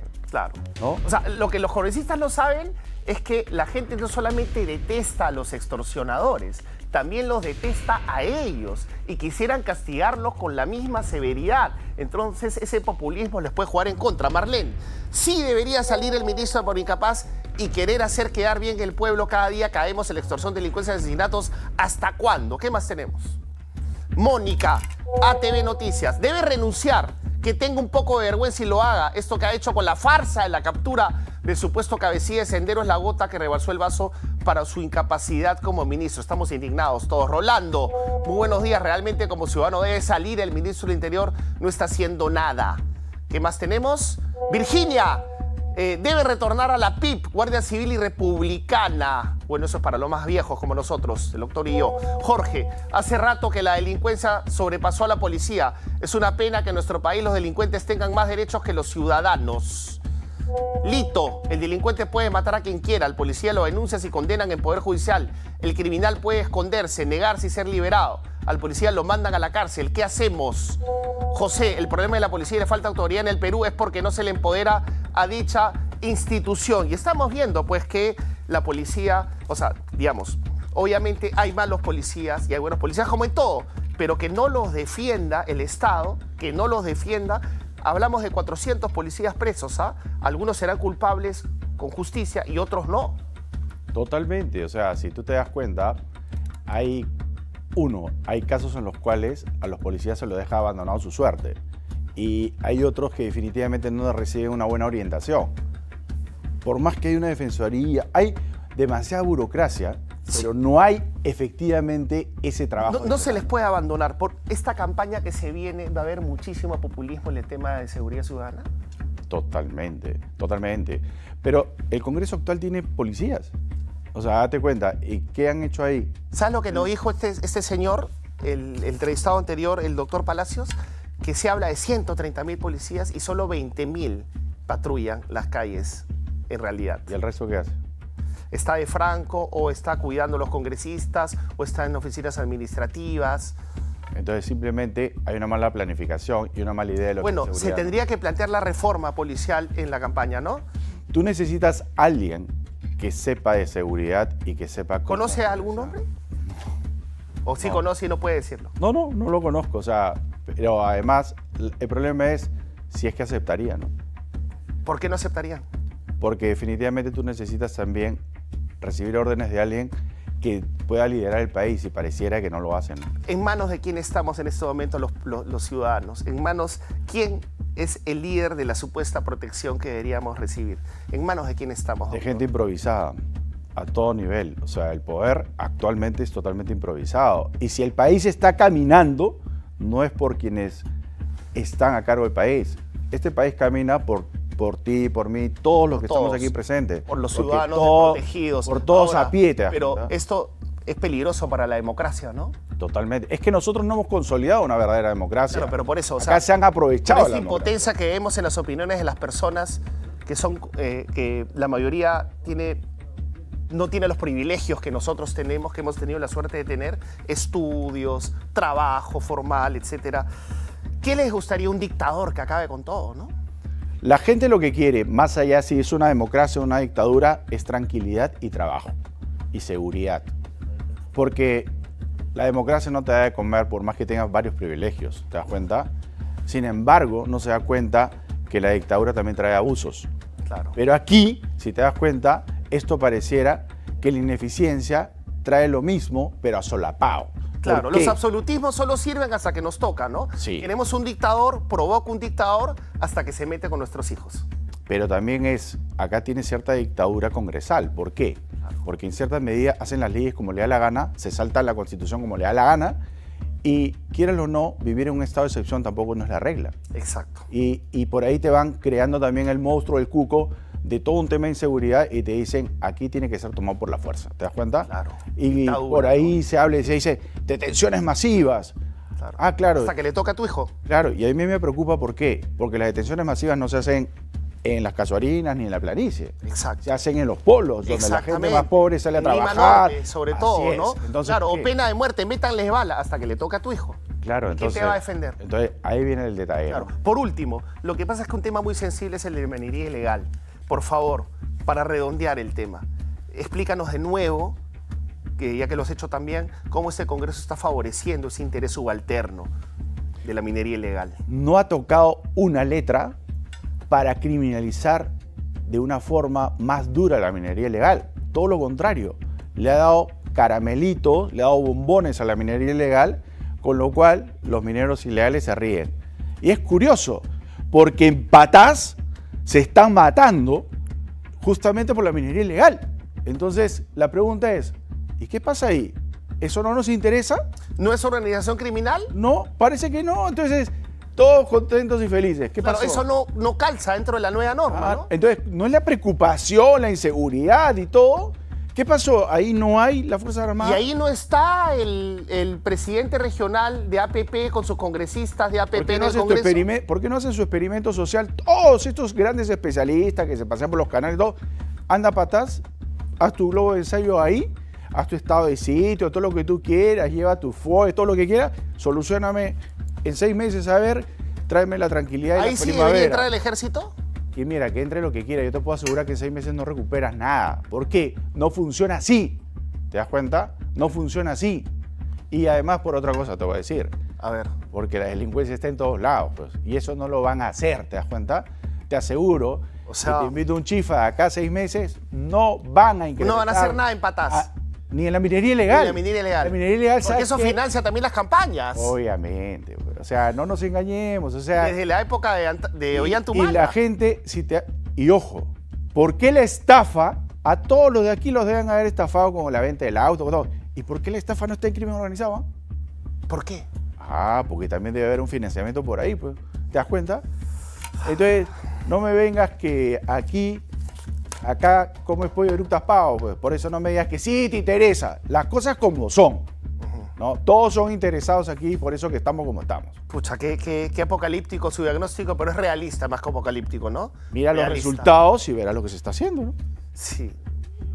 Sí, tremendo, tremendo, doctor Padilla. Gracias por su sinceridad, por su honestidad brutal, como se dice. Pero es necesario que nos den martillazos para poder lograr ciertos cambios, ¿no? Eh, muchas gracias por su No, a ti, presencia. gracias también. Estamos con Julio y con Mari, quienes han escuchado también atentamente la entrevista y están tan indignados como nosotros. Adelante, compañeros. Y además es importante siempre escuchar personas que hablen así, contundentemente, como lo hemos escuchado. Obviamente, con toda claridad. A esta hora, 8 y 9 de la mañana, tenemos información en vivo. Steve Romero con el caso de un policía que ha terminado siendo acribillado y nos va a actualizar la información a las 8 y 9 de la mañana. Bienvenido, Steve.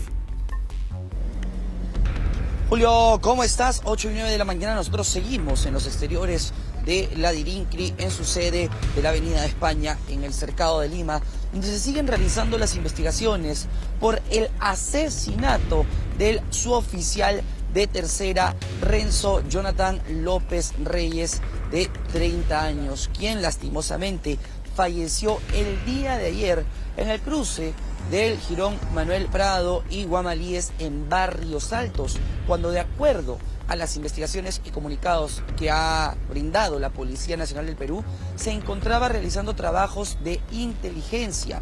Y es que este suboficial estaba detrás de una banda de extorsionadores. Es más, quien fue el primer detenido eh, es señalado como el objetivo principal de esta red. Estamos hablando de eh, Aarón Lozano Manrique. ¿Cómo se dieron los hechos? Este oficial estaba patrullando la zona en búsqueda de este hombre cuando esta persona y otros más se percataron. Ojo, el señor eh, López Reyes, el oficial eh, de tercera, se encontraba en su motocicleta y vestido de civil. Es ahí que en el cruce de estos girones que he mencionado previamente, recibe cuatro impactos de bala, cuatro de los más de siete que eh, se ejecutaron en ese instante. Él, el haber recibido estos impactos de bala fue fatal, fue letal para, para él quien perdió la vida inmediatamente.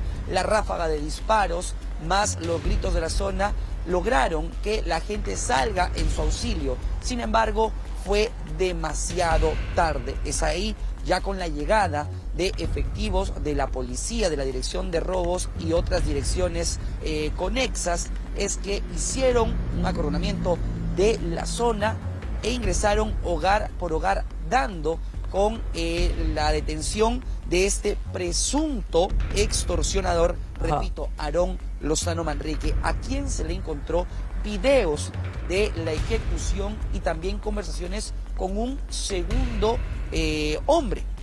A esta persona se le sugería que se vaya de El Agustino. La policía, por eh, uso de geolocalización, dio con el paradero de esta persona y en una persecución terminan deteniéndolo en el lince. Ahora, estos dos presuntos delincuentes se encuentran en esta sede de la DERINCRI en investigaciones para determinar su grado o participación en el asesinato del policía que se encontraba en ejercicio de sus funciones. Y esto sucede, como habíamos mencionado previamente, tan solo 24 horas después de que en el mismo cercado de Lima, pero en la zona de Manzanilla, más de ocho efectivos del grupo Terna, ejerciendo también sus funciones, fueron atacados por vecinos de la zona luego de que estos agentes Terna llegaran para revelar o desatar una red de tráfico ilícito de drogas. Todo esto viene siendo materia de investigación y seguiremos atentos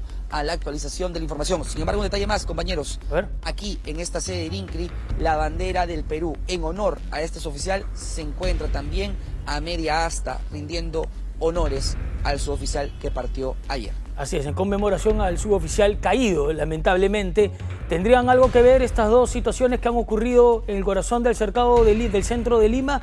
Solamente las investigaciones lo dirán. Ahora mismo se indican responsabilidades en la sede de investigación criminal, la DIRINCRI de eh, la Avenida España. Bueno, muchas gracias a Steve Romero. A esta hora tenemos una alerta informativa. Y esto es tremendo porque a quien están ustedes viendo vestido de rojo con estos uniformes característicos que el Ministerio del Interior puso para delincuentes detenidos de alta criminalidad es alias el Barbas. Cayó el Barbas. Cayó el Barbas, ojo con esto, y lo van a sacar del país. Ahí lo están montando en una aeronave para sacarlo. Pero ¿quién es el Barbas? Bueno, en realidad se trata de Ángel Ramón García Hernández, miembro activo, según los detectives, de la organización criminal transnacional El Tren de Aragua y tendría mucho que ver en esto. Ojo con lo siguiente, porque los datos después de la captura de alias El Barbas, que ahí lo estamos viendo a pantalla compartida, uno cuando lo capturan y otro cuando ya está detenido y lo van a subir en un avión para retirarlo. ¿Con destino a dónde? Con destino a Chile. ¿Pero por qué a Chile? ¿Por qué lo van a llevar a ese país, al vecino país del sur? Bueno, porque en Chile ha gatillado, ha apretado el gatillo y ha ultimado, según los detectives, de la Dirincri a cinco personas y tiene cinco fallecidos en su haber. Entonces en Chile se le busca, en Chile lo requieren y por eso lo están llevando para allá. Lo más inverosímil del todo esto, porque ya sí, de por sí el tema es escandaloso, este personaje llevaba años en nuestro país. ¿Cómo entró? Como alguien que había ultimado, como alguien que ha ultimado a cinco personas, alguien que tiene un proceso por sicariato, acá nomás en Chile, ¿ah? no estamos hablando de China, no estamos hablando de Japón, acá al costado en Chile. ¿Cómo alguien que tiene ese prontuario entra tan libremente a nuestro país. No se entiende absolutamente nada. Pero lo cierto lo real es que no solamente entró este personaje, ¿ya? Eh, Ramón García Hernández, alias se conoció como el Bárbaro, no solamente entró, después de que mató acá al costado en Chile, entró como si nada al Perú, nadie le pidió papeles al parecer, ¿no? Una coladera a la frontera y estuvo acá dedicándose a la barbería. Lo que explican los agentes de la policía es que acá tenía o habría tenido esa fachada de barbero y se ganaba pues la vida cortando, haciendo los feitos, pero tenía en Chile un proceso tremendo, por eso que lo están llevando. Ya está siendo retirado de nuestro país y se espera de que otras personas involucradas también en esta mafia sean también retiradas del Perú. Vamos a ver qué es lo que pasa. Continuamos en un estado de emergencia que realmente está dando pocos resultados, ¿ah? a diferencia de lo que dice el ministro del Interior. Bueno, 8 y cuarto, ¿qué se viene más adelante en su edición matinal interactiva? Patrick, el niño con piel mariposa, ha dejado de caminar por su delicada situación, está complicada la situación del pequeño Patrick y su madre lo va a traer aquí al matinal porque ambos tienen un pedido tremendo que hacer. Están en las redes sociales, pero dijeron queremos ir más allá. Vamos a la edición matinal, por favor, ayúdennos y lo vamos a recibir con todo cariño. Eso más adelante. Ahora Mari Calistro tiene más. Son las 8 y 16 y esta hora todos aquellos que son emprendedores, pequeña y mediana empresa, escuchen esta noticia porque podrían ser ustedes también parte de la PEC 2024. ¿Y cómo así? Porque ese día 13 de noviembre, el próximo 13 de noviembre, se va a dar la 17 Cumbre APEC para PYME para la PEC justamente para entender los detalles, qué significa esto y cómo podemos ser parte y cómo puede ayudar a un emprendedor a surgir mucho más. Hemos invitado acá, abrimos la toma, a Sebastián Elías. Sebastián es analista de asuntos corporativos de Comes pero ¿Cómo está, Sebastián? Muy buenos días. ¿Qué tal? Muy buenos días. Muchas gracias por la invitación. Buena la idea porque es una gran oportunidad para tantos emprendedores y pequeña y mediana empresa que tenemos acá. ¿Cómo pueden ser parte de este, esa cumbre? Claro que sí. Bueno, como parte de las actividades que tenemos aquí en el sector empresarial, eh, uno de los focos principales es tratar de brindar un acercamiento de lo que es APEC a este sector tan importante que es eh, parte fundamental del crecimiento y desarrollo de nuestro país. Entonces, en base a eso hemos desarrollado, como todos los años venimos haciendo, la cumbre PYME de la APEC. Este año en particular presenta una oportunidad única para todos los emprendedores y las pymes de nuestro país. Dado que tenemos la presidencia de la APEC, tenemos la posibilidad de brindarles de primera mano a todos estos emprendedores la posibilidad de contar con experiencias, eh, lo último en hitos en temas de digitalización, finanzas, internacionalización, de panelistas y expositores de alto calibre a nivel global. Justamente estaba viendo que entre la gente que viene acá para contar sus experiencias, vienen los CEO de empresas famosas como Acer, como Visa, ¿no? Tillapuy. Y además también el tema de la digitalización, como tú estabas mencionando, porque hay que entender también los emprendedores que parte del nuevo mundo es ser digital. Es correcto. Eh, parte fundamental del programa que estamos desarrollando para poder brindarle a estos emprendedores y a las pymes y medianas empresas está centrado en un pilar fundamental que es la digitalización, bajo esta nueva coyuntura en la que nos desarrollamos y más allá de eso, una herramienta tan fundamental para que sigan creciendo. Como mencioné, en verdad, esta es una oportunidad única, a diferencia de otras ediciones que hemos tenido en la Cumbre Pyme, esta en particular tiene muy, mucho contenido de alto valor, como menciono. No todas las ediciones tenemos la, posibilidad de traer a panelistas y expositores de ese nivel. Como mencionas, eh, incluso tenemos algunas empresas que nos van a acompañar, como EasyPay, también vamos a tener a personas de Visa, inclusive a TikTok, que se ha vuelto una herramienta muy, muy potente para los emprendedores en temas de digitalización y visibilidad. Entonces, esta oportunidad única solo se presenta este año para los emprendedores. Nos encantaría poder contar con todos ellos dentro de nuestro programa. Eh, si quieren conocer mayor información, en verdad, eh, todo lo estamos publicando y lo estamos haciendo de la manera más transparente dentro de nuestra página web, que es www.cumbrepyme.org. Ahí estamos actualizando conforme cada vez vamos, vamos haciendo más rico nuestro programa, tratando de brindar la mejor calidad a todos nuestros y todavía hay tiempo, ¿no? Porque esto va a ser exactamente el día 13 de noviembre y también parte del importante de estos eventos es escuchar ese tema de los, los paneles de discusión que hay, ¿no es cierto? Porque ahí es cuando uno va contando su experiencia, que la traen también del extranjero, se conversa y uno puede aplicarlo para sí mismo. ¿Cómo van a ser justamente esos paneles de discusión? Perfecto. Ese es un gran punto a tomar en consideración. Nuestro programa como tal toma clave los temas importantes de las pymes, tanto en las oportunidades que tienen para crecer como en los desafíos que enfrentan año tras año eh, y que este espacio les brinda la posibilidad de conocer muchas herramientas, tanto innovadoras como qué es lo que se ha ido realizando, qué es lo que ha ido funcionando y buenas prácticas que puedes ir recogiendo de otras empresas, incluso de otros países. Eh, hemos tratado de, en el, en, el, en el tiempo que tenemos el día 13, que en verdad es un full day que va de 9 de la mañana a 6 de la tarde, Ah, todo el día va a ser, ¿eh? todo el día, eh, tratar de incorporar el mayor valor posible con todos estos paneles de discusión, así como vamos a tener charlas magistrales, una de ellas, por ejemplo, como mencionaste, eh, del señor Carlos Añaños, que es CEO de Ujú. que va a brindar un poco un factor, ese, ese factor inspiracional que en muchas ocasiones las pymes necesitan escuchar y saber que esa trayectoria de crecimiento que tienen las empresas es posible, se puede lograr y pueden escalar a nivel global. También creo que es enriquecedor poder escuchar todo el tema de las, las tendencias globales, ¿no? Las nuevas tendencias globales para poderlas nuevamente cada uno tiene que saber absorber lo mejor de cada una de las ponencias y llevarlo para su negocio. He ahí la importancia de que todos los emprendedores, pequeñas y medianas empresas que nos están escuchando, puedan asistir justamente a este evento. Es correcto, en verdad, como mencionó, es la oportunidad que tenemos este año gracias a la presidencia PEC de poder brindar de primera mano todas estas herramientas, todos estos componentes, todo lo que nosotros sabemos que en muchas ocasiones estos emprendedores, estas pymes quieren conocer a nivel global, pero a veces no se presenta este espacio. Este es el espacio adecuado para poder conocerlas. Perfecto. Como mencionado, es un full day, no solo es ser parte de las ponencias, van a haber sesiones de networking en las que van a poder interactuar con otros emprendedores, otras Buenísimo. empresas, gozar de un delicioso almuerzo en el Westing, así como muchas actividades más. Y en realidad es una gran oportunidad para poder coger experiencia, escuchar también la experiencia que traen desde otra parte del mundo y poderla coger para nosotros. Por favor, ya para terminar, Sebastián, las entradas, dónde se compran, cómo se adquieren para poder ser parte de... Claro que sí, eh, pueden, pueden realizarlo a través de Joinas, la plataforma Joinas, que es muy conocida, pueden adquirir sus entradas, como eh, pueden... Al tener sus entradas pueden adquirir este gran programa, como menciono. No solo tienes las sesiones, también tienes eh, posibilidades de hacer networking con otras empresas de acá del país, empresas de alrededor del mundo, específicamente en la región APEC, como menciono, un delicioso almuerzo y muchas actividades más que vamos a brindar. Listo, Sebastián, gracias.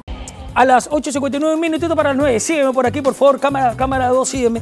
Porque vamos a hablar del tema brujería, hasta dónde puede llegar estos trabajos oscuros. Música oscura, por favor, para entrevistar aquí a mis especialistas. Chicas, ¿cómo están? Le doy la bienvenida a Adriana, Camila Santillán, eh, Albarracín y a Turquesa Macarena. Chica, ¿e- ¿existe en verdad la brujería? ¿Esto es una realidad o es un mito? Claro que sí, bienvenidas, gracias. ¿Cómo Buenos días. están? Buenos días. Los síntomas de la brujería. ¿Cuáles son los síntomas? Eh, los síntomas de brujería es, bueno, primero es ataque de pánico, especialmente empieza de 3 a 5 de la mañana o también en las noches puede empezar a partir de las 10. eh, y es más que todo cuando vas al doctor y realmente no te encuentran, qué es lo que tienes, ¿no? Y también la segunda es cuando también es más que todo en el negocio, en tu negocio eres una persona muy limpia, eh, eh, empiezas a barrer, a limpiar y sientes un olor a excremento, ¿no? O también plaga de bichos, de gusanos. Eso es porque eh, eh, más que todo te están empezando a trabajar y es por eso también que te atrasas en los pagos y también en el tema de eh, que no te va muy bien en el negocio. Así que es muy bueno, sería muy bueno realizarte una limpia o también protegerte, ¿no? ¿Cómo, Eso sería bueno. ¿Cómo podemos protegernos de estos síntomas de, de la brujería? Yo por eso tengo mi línea brujil, que tenemos nuestro San Benito línea- de Abad. Y vamos a venir con San Benito y con la línea Brujil en breve, porque la gente, la gente está a la expectativa y yo también. Se ha puesto tenso el ambiente acá. Vamos a volver con ustedes. Mari Calixtro tiene más ahora. Miren ustedes, pues, miren ese rico chanchito, chancho al palo. Oye, qué delicia. Ahí le están echando la cervecita. ¿Para qué? Para que el chanchito agarre ese exquisito sabor y en realidad tenemos una gran cita. ¿Cuándo? Este fin de semana nos vamos a volar. ¿Cómo es? ¿Cómo está? Hola, ¿cómo estás? Buen día. Este fin de semana estamos en la Feria del Chancho al Palo en Guaral, en el Club Nicey, desde las 10 de la mañana. La entrada es totalmente libre. Vamos a encontrar 30 stands corporativos, platos de todo tipo, especialmente el chancho al de palo. la vedette, pues porque en realidad el olorcito y el crunchy, y justamente hablando de platos, ven conmigo por favor, porque vamos a caminar acá, has traído acá una muestra de lo que van a encontrar todas las familias, porque este es un plan familiar, ¿no es cierto? Plan familiar porque es de Guaral. Estamos en Guaral ofreciendo toda esta cantidad y variedad de platos hechos a base de chancho al palo, como es el ceviche de chancho al palo, tallarines de, de chancho al palo, el rico chaufa de chancho al palo, También va a haber pato en ají, la, la infaltable carapulca. Todos los chanchos van a salir con su carapulca. Sus costillitas a la barbecue, costillitas de chancho al palo a la barbecue. Y acá tenemos eh, la presentación del chancho al palo. Viene su chanchito al palo con su galletita, su crema de copa, su choclito y su salsa criolla. Y en realidad te digo, comer chanchito es tan saludable además. Sí, el chancho es totalmente saludable. La, la galleta, todo, la carne está totalmente separada de la grasita. Es bastante delicioso. comentando este fin de semana, mañana arranca. Es totalmente gratuito el plan para irnos a Guaral y porque además también tenemos la alternativa de juegos inflables para los niños, hay como una pequeña granja. Cuéntanos, por favor. Va a haber actividades para toda la familia. Tenemos mini granjas, tenemos juegos para niños. El show no va a faltar. Tenemos a Lucía de la Cruz, tenemos a Son Tentación y muchas actividades más. Tenemos caballos de paso, marinera.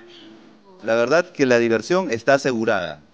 ¿Saben qué? Lo más lindo de todo, la entrada es totalmente gratuita, ¿sí o no? Desde las 10 de la mañana los esperamos a todos. La entrada es libre para toda la familia.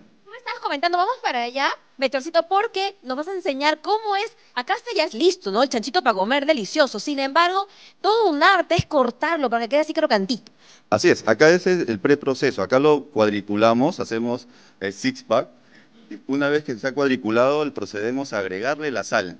Una vez que se le echa la sal en todas las rendijas de que, que se ha cuadriculado, procedemos a amarrar el chanchito en la reja y se le pone para asegurar y no se vaya a caer una rejita más encima. ¿Cómo es, no? Es tan rico y natural el sabor de chanchito que solamente es sal y luego la cervecita que le da todo el gusto, ¿no? Sal, cervecita y bastante amor. Eso mismo, y claramente en el rancho Robertín lo tienen porque tienen más de 20 años de experiencia y van a estar presentes. Invita, la última invitación para la gente. Somos, estamos infaltables ahí. Este fin de semana, desde mañana, los esperamos en la Feria del Chancho al Palo. Desde las 10 de la mañana, entrada libre, actividades para toda la familia. Show en vivo, no se lo pueden perder. Los esperamos. Estamos a dos, están a dos horas más de Guaral. Eso mismo, ya saben, plan para el fin de semana. Esto va a estar del día viernes hasta el domingo, ¿verdad? Del viernes al domingo. Buenísimo, muchísimas gracias. Julio, me queda comiendo rico que te están haciendo brujería. Normalmente a las personas que están trabajando con mala energía presentan estos síntomas. 1. Las personas de la casa enferman sin motivo. 2. Sientes dolores físicos y te encuentras magulladuras. 3. Mueren las plantas aunque las cuides perfectamente. 4. Las discusiones te llegan solas y son insoportables. 5. Tu mascota parece estar desesperada. 6. Los electrodomésticos se rompen. 7. Detectas olores desagradables y ambientes fríos en casa. 8. Tienes pesadillas de las que te cuesta despertar. 9. Puedes empezar a ver presencias en casa. 10. La economía se resiente. Una serie de requisitos, por así decirlo, que si usted los cumple, aparentemente podrían haberle hecho brujería. ¿Cree usted? Lo van a responder mejor Turquesa y Shri Alvarezín, que las tenemos aquí, chicas. ¿Cómo están? Bienvenidas nuevamente. Y ahora sí, hemos visto estos, digamos, estos puntos, estos síntomas. ¿Son reales, Turquesa? Claro que sí, las, las mascotas se nos mueren, vas a ver y no, no tienen nada, te da parálisis de sueño, puedes ser víctima de un amarre, sueñas mucho con, el, con, el- con la expareja. ¿Cómo sé si me han hecho un amarre, Turquesa? Un amarre porque tienes una desesperación a las 3, 4 de la mañana de llamar, de buscar, de ir, sueñas, estás con una pareja nueva y dices, tu pareja se llama Elena, ay, ay, Rosita, ¿ah? Se te sale la... Me ha pasado. O sea, es brujería eso. Claro, ese es un También amarre. que todo, Ah, ya, claro, también... Ojo. O sea, si te equivocas el nombre de tu pareja es porque yo soy la víctima, me han hecho brujería. Bien, Claro, y también sientes el olor en, la- en la madrugada, te levantas, sientes a, a olor a, a tabaco, ¿no? O también A perfume. perfume. de esa persona, y es porque a esa hora empiezan a trabajarte, así que tengan mucho cuidado. Ok, ok, ok. A ver, eso es en el, en el ámbito de- del- del amor, pero si de repente no me van bien las cosas en lo laboral y tal. La plata se te va como agua. Quieres invertir algo, se te va como agua. Empiezan los robos, te roban tu suerte, se te pierde una prenda, se te pierde algo. Ten cuidado, nunca reciban comida de una persona que te tiene envidia, porque cuando recibes te trabajan, hasta por la boca te dan. La barriga ¿en se te, se empieza a hinchar. ¿Qué tengo? Pueden decir, tengo una bacteria helicobacter. No, no, no, no, no. Ese es daño, esa es brujería. De una envidia. Así es, de una Bandera brujería roja mal de de ojo. corriente. Exacto. Y- Las plantas se te secan. También eso. es Claro, las- viene un familiar y se te opacó todo. El ambiente cambia de frío a caliente, se te escarapela el- el- la piel del cuerpo. Entonces, ¿qué está pasando? ¿Cómo nos podemos proteger? Primero con un especialista, porque nosotras somos brujitas, somos psíquicas medium y nuestra frecuencia vibratoria está alta. Cuando una persona tiene la frecuencia vibratoria baja, entra hasta la enfermedad.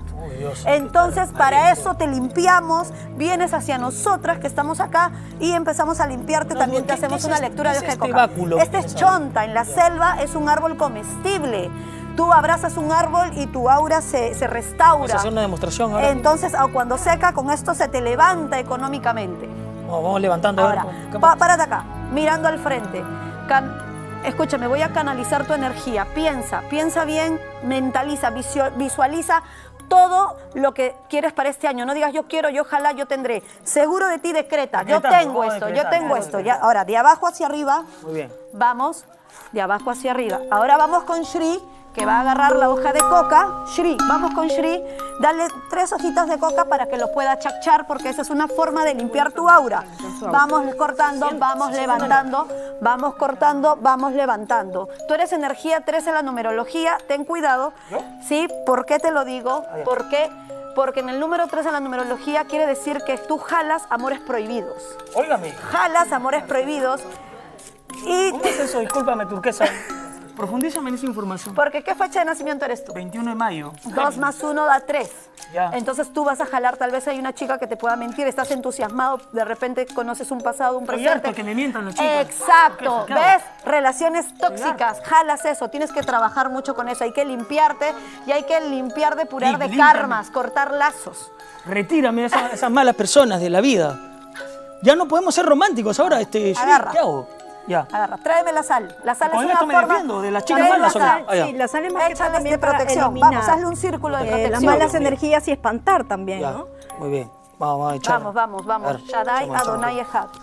Shaddai Adonai Echad. Vamos. Ya sí, con esto no, no da resultado. Mentaliza, mentaliza. Tú, Y tú eres Géminis, tú eres brujito por naturaleza, intuitivo. Tienes que Ah, Así que ya saben, porque que es así que. Kaishri Esoterismo te vamos a ayudar para repeler, para revertir, para el negocio. Si tu negocio no va bien, ha bajado en la parte económica, vamos a ayudarte a fluir tu energía del dinero. Turquesa. Para Turquesa, eso. Y se siente además una energía. Y esto es verdad, no lo digo en broma. Tenlo, se siente una tenlo, energía. tenlo, esta es la chonta. Tenlo. Y con la chonta me voy Tres veces la- para, las para- chicas malas. Tres ¿sabes? veces para atrás y para adelante. Tres veces. Vamos, con fuerza para que Muy te bien. puedas levantar. Chicas, y mientras yo este, hago esto, ejecuto esto, ¿dónde las ubicamos, por favor? Eh, tengo mis redes, claro, me pueden encontrar como Shiri, S-H-R-I, esoterismo y más en TikTok y también en Instagram. Y mi número de teléfono es 930-334-650. 930-334-650. También un consejo, chicas, eh, por favor les pido que, sobre especial a mujeres, no se dejen tocar mucho el pelo. Más que todo la otra persona absorbe las energías. Y es donde también te debilitas, te sientes así Chicas, como mal. Y es- Buen consejo, muchas Claro, gracias. Gracias por estar con el nosotros. cabello, el cabello. Bendiciones, muchas gracias. Mari Calixto tiene más. Información en vivo. Chachaste la coca, tienes que chacharla. Nos vamos a Sagamarra, ya está Rosa María Cabrera porque me comentas que hay ropa con inteligencia artificial. Rosita, ¿de qué se trata? Buenos días.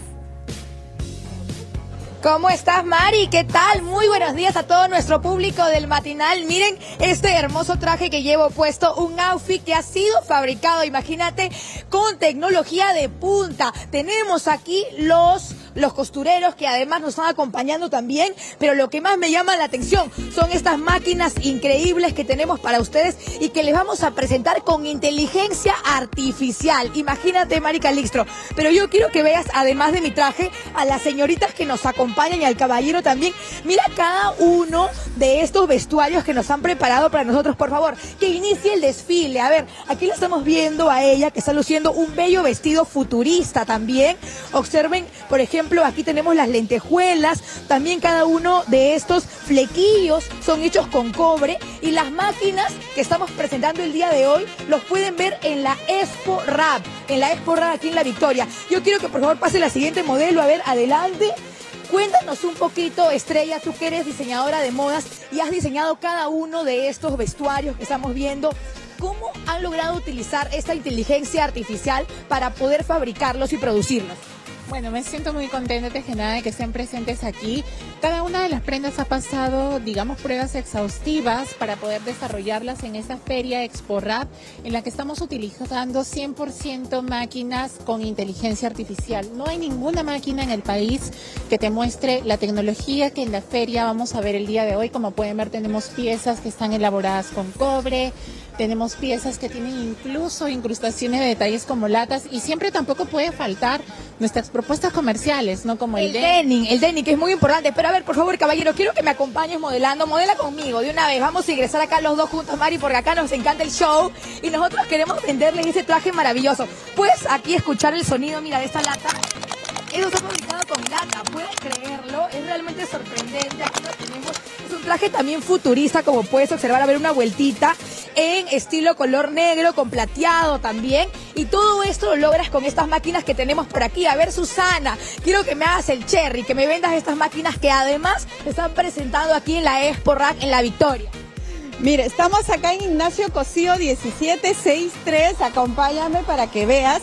Antes las MIPES, por ejemplo, para coser este, esta tela, que es una tela tan delgada, necesitaba una máquina. Para esto, otra máquina. Y esto que es este, por ejemplo, una tela muy gruesa, otra máquina. El jean, otra máquina.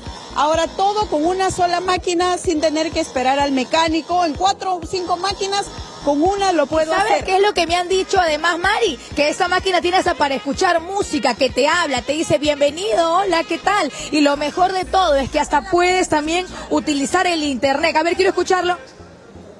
Ahí va a prenderse la máquina. Va a prenderse la máquina, a ver, a ver, a ver, queremos escuchar. Si te das cuenta, sola se regula. Sola se regula, Sola se perfecto. autorregula. so- Escucha. Bienvenida a un nuevo día de- Bienvenido a un nuevo día de trabajo, imagínense. Pero a ver, acá quieren cerrar con la modeladita de las chicas. A ver, nos vamos a acercar, por favor, Estrella, tú también, que eres la diseñadora. A ver, queremos verte a ti porque ese traje también es con inteligencia artificial. A ver, modelando, modelando, por favor. Miren, qué regia, qué hermosa. A ver, usted también, señorita, modelos de alta costura. Yo me sumo porque también queremos vernos regias y están invitadísimos a esta gran feria Expo para todos los costureros, para todos los diseñadores de alta costura. Pueden aprovechar en venir aquí y sobre todo lucir así de regias en cada una de sus presentaciones. Vengan a la Expo aquí en La Victoria, queridos amigos, y nos despedimos modelando. Muchas gracias, Rosita, me encanta además. Gracias por la información. Y es que lo que pasa es que estamos acá revoloteados porque vamos a ver la última tendencia de jeans. Como tiene que ser. Y para eso ha venido la gran Paola Ruiz, por favor, ponchamela. Paola, ¿qué tal? ¿Cómo estás? ¿Estás Ay, feliz y contenta. Gracias, de verdad, por la invitación. Yo siempre feliz mostrando. Ay, gracias. Tú también estás regia, Marita.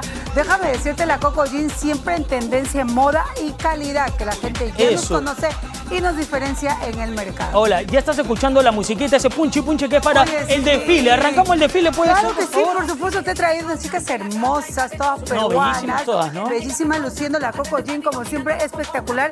Producto peruano. Tenemos a Milagros Fernández, una gran modelo. Ella luciendo un conjunto hermoso de falda con chaleco jean en French Terry. Sabes que nosotros somos fabricantes desde la misma tela. Fabricamos el- nuestros jeans con algodón peruano que hace que sea una prenda de calidad y que lo puedas usar en cualquier ocasión, combinación y clima sobre todo. stretch, ¿no es? Sí, ese stretch que hace que estilice, forme la figura muy bonita y lo puedes combinar como quieras. Por ejemplo, el día de ella lo estaba usando, Milagrito lo está usando con unas sandalias, lo puedes usar con unas botas, o de repente la falda solo, con zapatillas, con una chompa, con un top, con una sandalia. O sea, tú lo armas tu outfit como tú quieras, porque lo importante es sentirte bien, bella y hermosa. Listo, a ver, tenemos Sí. otro modelito más. Me encanta también cuando haces la combinación así, esos colores, ¿no? Medio metálicos, lindos. Sí, mira, por ejemplo, ahorita que se viene Halloween, Ya. imagínate ese conjunto, das la hora. Aparte que lo metálico, está muy de moda el plateado y el dorado. Y acá jugamos una combinación de jean. Ojo, es jean. Mucha gente dice, no, no es jean, es jean, lo puedes comprobar, lo puedes... ¿Es jean? eh, claro, lo puedes tocar, la el, el chalequito es jean con, eh, con dorado, que es muy bonito. Y lo puedes usar así como ella está, con botas. O de repente un día que quieres ser un poquito más urbana, con unas botas más casual, o una zapatilla, o una chompa. O también va muy bonito con una camisa Claro. blanca o negra. Te funciona muy bien el dorado. Le da un ¿sabes toque de elegancia. Lo que me encanta también es que se acopla el cuerpo perfecto, con unas pincitas que tiene acá en la cintura, ¿verdad? Para Sí. quedarme más bonito, ¿no? Así es, las pinzas ayudan mucho en el entalle que Claro. tiene el corazón en la parte de atrás. Y volteamos, Jennifer, para que puedan mirar el corazón en la parte de atrás que tiene acá el, el pantalón, las pincitas. Y nuestro denim también es stretch. Ojo, que ahora estamos trabajando con dos tendencias de tela. Uno que es el French Terry y otro que es el Denim Stretch. Ambos son licrados que tienen un entalle perfecto. Hola, ¿y tú, tú, a ti se te ocurren estos diseños? ¿Cómo, cómo te inspiras de repente atrás de otros lados, de Europa, no sé? Mira, la verdad, tú sabes que todo está creado en el mundo. Sí, pues. Pero simplemente es lo que tú le vas a poner como que el Lo agregado. gusto, el agregado, Claro. cómo te Plus. gustaría ver, su plus, los detalles, le quitas algo, le pones algo y es lo que hace la diferencia, ¿no? Este- Yo este conjunto también qué bonito. sí, esto es hermoso. Es Hermoso. un vestido que lo puedes usar, por ejemplo, en verano, solo el vestido te puede funcionar muy bien con zapatilla o con unas sandalias. Y si ya quieres un, salir un de repente en la noche, una cena, por algún lado, algo más formal, lo puedes usar con una camisita como lo está usando Margelli y con unas botas. ¿Cómo te ese funciona detalle le cambia bien. totalmente? Porque es otro look, ¿no? Cuando estás con la, Claro. con la blusa es otra cosa diferente o quizás hasta un polo podrías utilizar si Claro, si quieres puedes usar también un polito o un polo manga larga y unas botas altas, una chompa, como te digo, y te funciona como una minifalda. O sea, lo importante de la Coco Jean, que siempre estamos sacando modelos, que tú lo puedes usar no solamente una vez, lo puedes, aparte que dura un montón porque está hecho con algodón peruano, lo más importante es que lo puedes combinar como tú quieras. Ahí está. Y sin importar las medidas, ni la talla, ni las formas de cuerpo que tú tengas, porque tenemos desde la talla 28 hasta la talla 36. Talla completa es. Sí, son tallas completas y te estilizan y te forman la figura. ¿Me Y no te dejan escapar el rollito que tienes al costado a veces porque no, ocult- normalmente... Hacen un trabajo de, de ocultar también ahí este... Sí, lo que pasa es que normalmente, antiguamente los jeans eran rígidos. Muchas veces tú ves un jean muy bonito, el acabado, la pedrería, todo muy bonito un maniquí. Pero cuando lo vas a poner dices, wow, me desilusiono totalmente porque los rollitos se me escapan, como que me apretan, ¿no? Por ejemplo, ese, ese jean es tipo cargo, pero también entalladito en la parte alta, ¿no? Sí, es un jean cargo en- con entalle perfecto y se está usando mucho, lo puedes usar así como ella, por ejemplo, lo puedes usar con botas, con zapatillas, como Lindo. te digo, con polo ancho. Es algo muy oversial, muy relajado, pero ella, por ejemplo, le está haciendo un toque como que ya más glamuroso. Claro. Coco Jean siempre va por la elegancia, ¿me entiendes? Así, Como así que- veo, ¿no? Como que más, más con esa tendencia entre lo casual pero tirando a lo elegante, ¿no? Sí, por ejemplo, mira, Jennifer está luciendo el día de hoy un shortcito que si tú lo pones con estileto y una blusa como ella está puesto, le das como que un toque elegante. Totalmente. Ah. Ya pasa de ser un short eh, casual, normal, básico, porque normalmente nosotros siempre traemos la moda y la tendencia. Por ejemplo, en. Europa están usando mucho las chicas lo que es el short con botas o con estiletos, que se ve bonito. Claro. No solamente el short lo tenemos que usar en verano, Claro. también lo podemos usar en invierno con una buena panty. Aparte ya está saliendo un poquito de sol, está. así que Claro. preciso también, ¿no? Y la, y la Coco Jean estamos a nivel nacional. En Iquitos tenemos una tienda en Arica, en Tarapoto, en Girón Grau, 301. Todo el Perú, búsquenos como la Coco Jean. Síganos en nuestras redes sociales, en Instagram, Facebook, TikTok. Estás en Ahí todas para las redes también, Paola. Sí, En para todas mayor información, somos fabricantes de la misma tela, vendemos por mayor y por menor, tres únicas tiendas en Gamarra. Y ojo, que mi única marca de jean es la Coco Jean by Paula Ruiz. ¿Cómo reconocerlo? Muy fácil. Si estás en la tienda o quieres reconocer una prenda de la Coco Jean, tienes que verificar que esté el nombre completo Paula Ruiz y la foto de Paula Ruiz.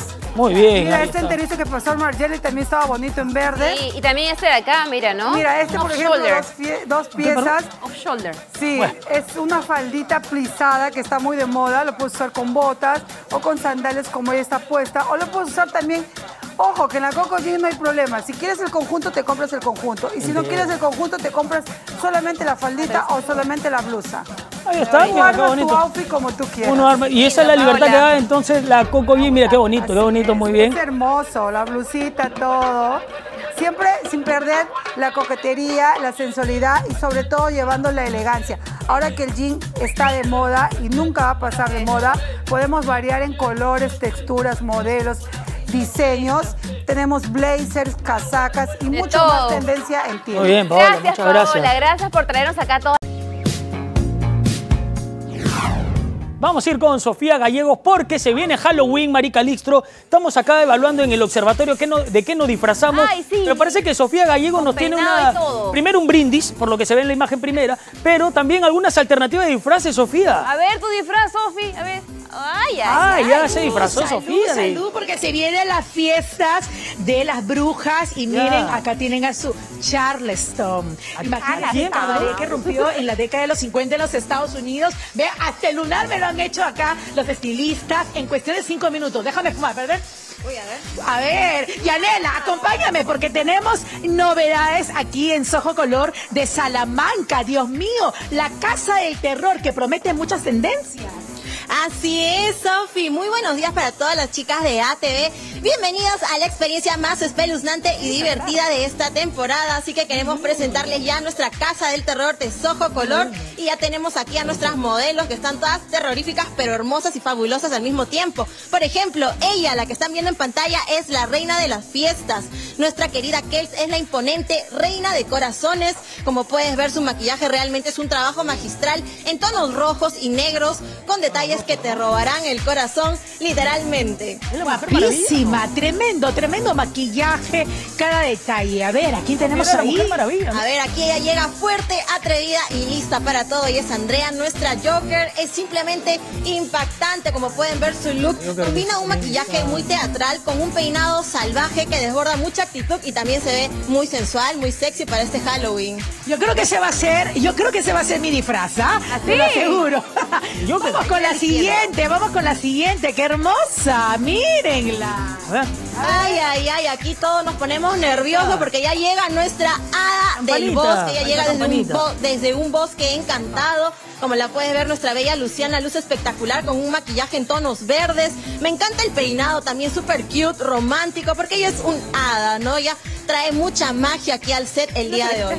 Esa también me gustó Ah, bastante, pero la que viene, Julio, Ya. la que viene te va a encantar. A ver. A Toño le encantó, dice que se ha enamorado, se le ha subido la glucosa, la saturación. Muy atento, Julio. Ten mucho cuidado con la mirada porque ella es Ariana, nuestra bella medusa, y va a deslumbrar Ay, con un look totalmente seductor y peligroso. Como pueden ver, en el cabello ella luce unas ondas que hacen que su look sea súper como de serpiente y tiene un maquillaje realmente espectacular. Así que, Julio, mírala con mucho cuidado, por favor. Pide una vueltita, piden una vueltita. Ahí está, qué Claro, porque no hay guapa. que verle a los ojos, no hay que verle los ojos a Medusa. Porque si vamos a hablar de sexy, ella la rompe. No por algo es la Miss Halloween. Claro que sí, ella es nuestra bella Diana y es nuestra Carrie. Está lista para ser la reina del baile, pero con un giro aterrador. Su maquillaje sangriento se roba totalmente el show. Así que ya lo saben, chicas. buena, No hay excusas para en este Halloween lucir espectacular gracias a los expertos de la belleza aquí en Soho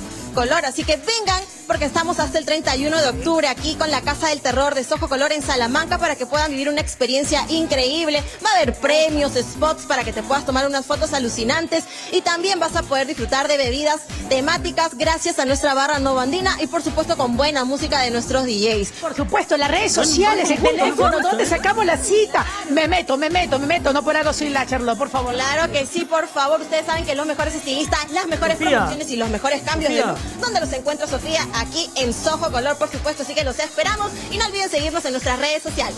Eso, muy bien. Las dejo, las dejo con las modelos, por favor. Ahí están, muy bellas, aquí en Sojo Color. Muy bien, Sofi. Nos quedamos esperando tu desfile también, porque hemos visto pues a, a- a Campanita, hemos visto a la Mujer Maravilla, Medusa. Medusa, Medusa. Pero queremos ver también a nuestra representante del matinal desfilando, pues Sofía.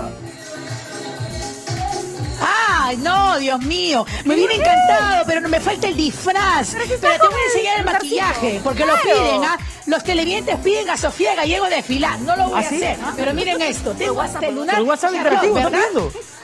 Muy bien, mira, a ver, Smokey describe. Eyes, lo que ella tiene el día de hoy es un Smokey Eyes. Es un maquillaje sencillo, no hay excusa para poder disfrazarse este Halloween. Así que tenemos para todos los gustos algo un poco más tranquilo, algo un poco más elaborado como nuestra Le queda bien a Sofía, atrás. me gusta, No bien. pierdan esta gran oportunidad de vivir una experiencia increíble al lado de Soho Color. Bien, Me Sofía. quedaría mucho mejor si sí con un vestido negro apretadito. ¿ah? La próxima, el 31, nuevamente venimos a Sojo Color. Mira, lo prometido es deuda. Ya lo saben, Sofía, las piernas que matan, date ve.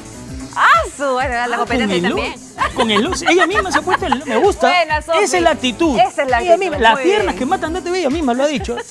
Sofía Gallegos, esperamos cumpla su, su reto que ha puesto ahí. Ahí está, lo prometido es deuda, vamos a ver. Pero Claro. ahí está la alternativa para toda la gente que quiera planificar su día de Halloween, su peinadito. ¿A usted, señora Calistro, qué, disfraz le gustaría? A mí me- en realidad quisiera el, cisne negro. Con el maquillaje O sea, justo el que negro. no salió ese... Sí, Nos vamos en directo con Rosa María Cabrera que tiene novedades. A ver. A ver, Rosita, ¿en dónde te encuentras? Información en vivo, bienvenida. ¿Cómo están amigos? ¿Qué tal? Muy buenos días. Nos encontramos aquí en el Jockey Plaza, exactamente en el segundo piso, y vamos a disfrutar de ver este espectáculo inmersivo que muestra el mundo de Frida Kahlo. Y justamente lo que tenemos alrededor es realmente lo que nos llama la atención. Cada una de las pinturas de Frida Kahlo, de esta artista mexicana, que nos ha llenado de muchos mensajes importantes. Ustedes pueden verla aquí con trajes autóctonos también de México, reflejando muchas veces el dolor, el sufrimiento y el amor. El amor también por la vida y el amor por ella misma. Ahora, estamos observando que en este espectáculo ustedes van a poder tener también parte de inteligencia artificial, fotografía, pintura y queremos conocer realmente de la mano de los familiares y amigos muy cercanos de la familia de Frida Kahlo, parte de lo que estamos viendo. Caballero, usted me indicaba que todo lo que tenemos aquí alrededor, a ver si mi compañero José Porras muestra un poquito lo que tenemos es traído desde México, ¿verdad? Y eso nos asombra porque en este nuevo espectáculo, tanto grandes como pequeños van a poder disfrutar de todo lo que han preparado para nosotros. Mira, primero, no somos familiares de Frida Kahlo, el familiar es Guillermo Kahlo, que lo vas a tener un rato más. Somos los encargados del concepto y del arte de, de la muestra. Entonces, Abigail y yo eh, se pensó en una experiencia inmersiva a través de pabellones, a través de la vida de Frida Kahlo. Se trajo todo el material de México, todo lo que ves puesto, tanto en la ofrenda del pabellón como los elementos decorativos, la cama, son réplicas de la cama de Frida Kahlo y todo se trajo desde México. Es un pabellón 100%, 100 mexicano. Y tenemos, por ejemplo, algunas fotografías. Me gustaría que podamos avanzar quizás para mostrarlas también, compañeros. Miren, observen esas fotografías que tenemos por aquí, por este lado. Algunas de ellas o varias han sido tomadas por el padre del artista y que tenía justamente esta corriente estética que seguramente influenció también en ella. Son algunos edificios principales de la Ciudad de México y lugares por los cuales ella también caminaba, ¿verdad? La colección, aquí está el, el dueño de la colección, que nos vamos a invitar. A ver, a ver si le damos también el pase para que nos cuente parte de lo que estamos viendo en estos momentos aquí en cada una de las fotografías. Sí, Rosita, muchas gracias. Pues efectivamente eh, trajimos estas fotografías también de la Ciudad de México y, y pertenecen a la colección Acevedo Mansur, que es una gran colección de fotografía antigua de México. En esta ocasión estamos trayendo fotografías del padre de Frida Kahlo, Guillermo Kahlo, que llegó de Alemania a México y era un gran fotógrafo que, que tuvo que tomar fotografías de, de arquitectura y de muchos templos por allá en, la ciudad que le encomendaba el entonces presidente Porfirio Díaz. Eh, esta colección es, es, única, son fotografías eh, vintage originales, muestran la Ciudad de México y Coyoacán, donde vivió Frida Kahlo. Y estamos realmente ingresando al mundo de Frida Kahlo y quiero mostrarles algunos de los murales increíbles que tenemos por este lado, que realmente nos transportan al mundo en el cual ella quería reflejar lo que estaba pasando en su mente, en su corazón. Y ustedes también como artistas, cuéntenos un poquito en qué se inspiraron, qué estamos viendo aquí en estos momentos. No, miren, acá estamos con Frida Kahlo prácticamente, frente a frente. Este cuadro está inspirado en el diario de Frida Kahlo. La parte de atrás es parte del diario de Frida Kahlo y la parte de adelante es un cuadro de Frida Kahlo que se llama eh, Mi muñeca y yo. Y con eso hicimos Abigail y yo un, una mezcla de, ambos cuadros con todo el material que es papel picado, las flores que se ocupan con Frida Kahlo en toda su obra, flores mexicanas, que se llama cempasúchil, y el papel picado que es muy característico de México y nos tenemos como todo, todo un concepto alrededor de México y Frida Kahlo. Ahora, un concepto que además mezcla, por ejemplo, luces, flores, texturas y colores diversos que nos van a ayudar a ingresar a este mundo artístico de Frida Kahlo, ¿no? Este espectáculo, por ejemplo, se va a iniciar desde el día de hoy, así que ustedes van a poder disfrutar también de todo lo que tienen preparados para nosotros y sobre todo que además son precios muy accesibles. Aquí al frente tenemos otro mural también que es llamado El Sueño y, y que me encanta también porque estamos viendo las nubes, vemos la cama de Frida Kahlo y también algunas de las flores. De igual manera tenemos las luces con las velitas, ¿no? Que también representan parte de México. Lo hemos visto en cada uno de los altares que hay en las casas. Mira, aquí el concepto, por ejemplo, a partir de ese pabellón, es un pabellón 3D. Te van a entregar unos lentes y todas las imágenes son en 3D. Y entonces, todos los elementos corpóreos que son estos, intentamos hacer 3D para que todo una- sea una experiencia totalmente diferente a lo que hemos visto. Este es un cuadro que se llama El Sueño y tenemos una réplica de la cama de Frida Kahlo en algún pabellón inspirado en este cuadro.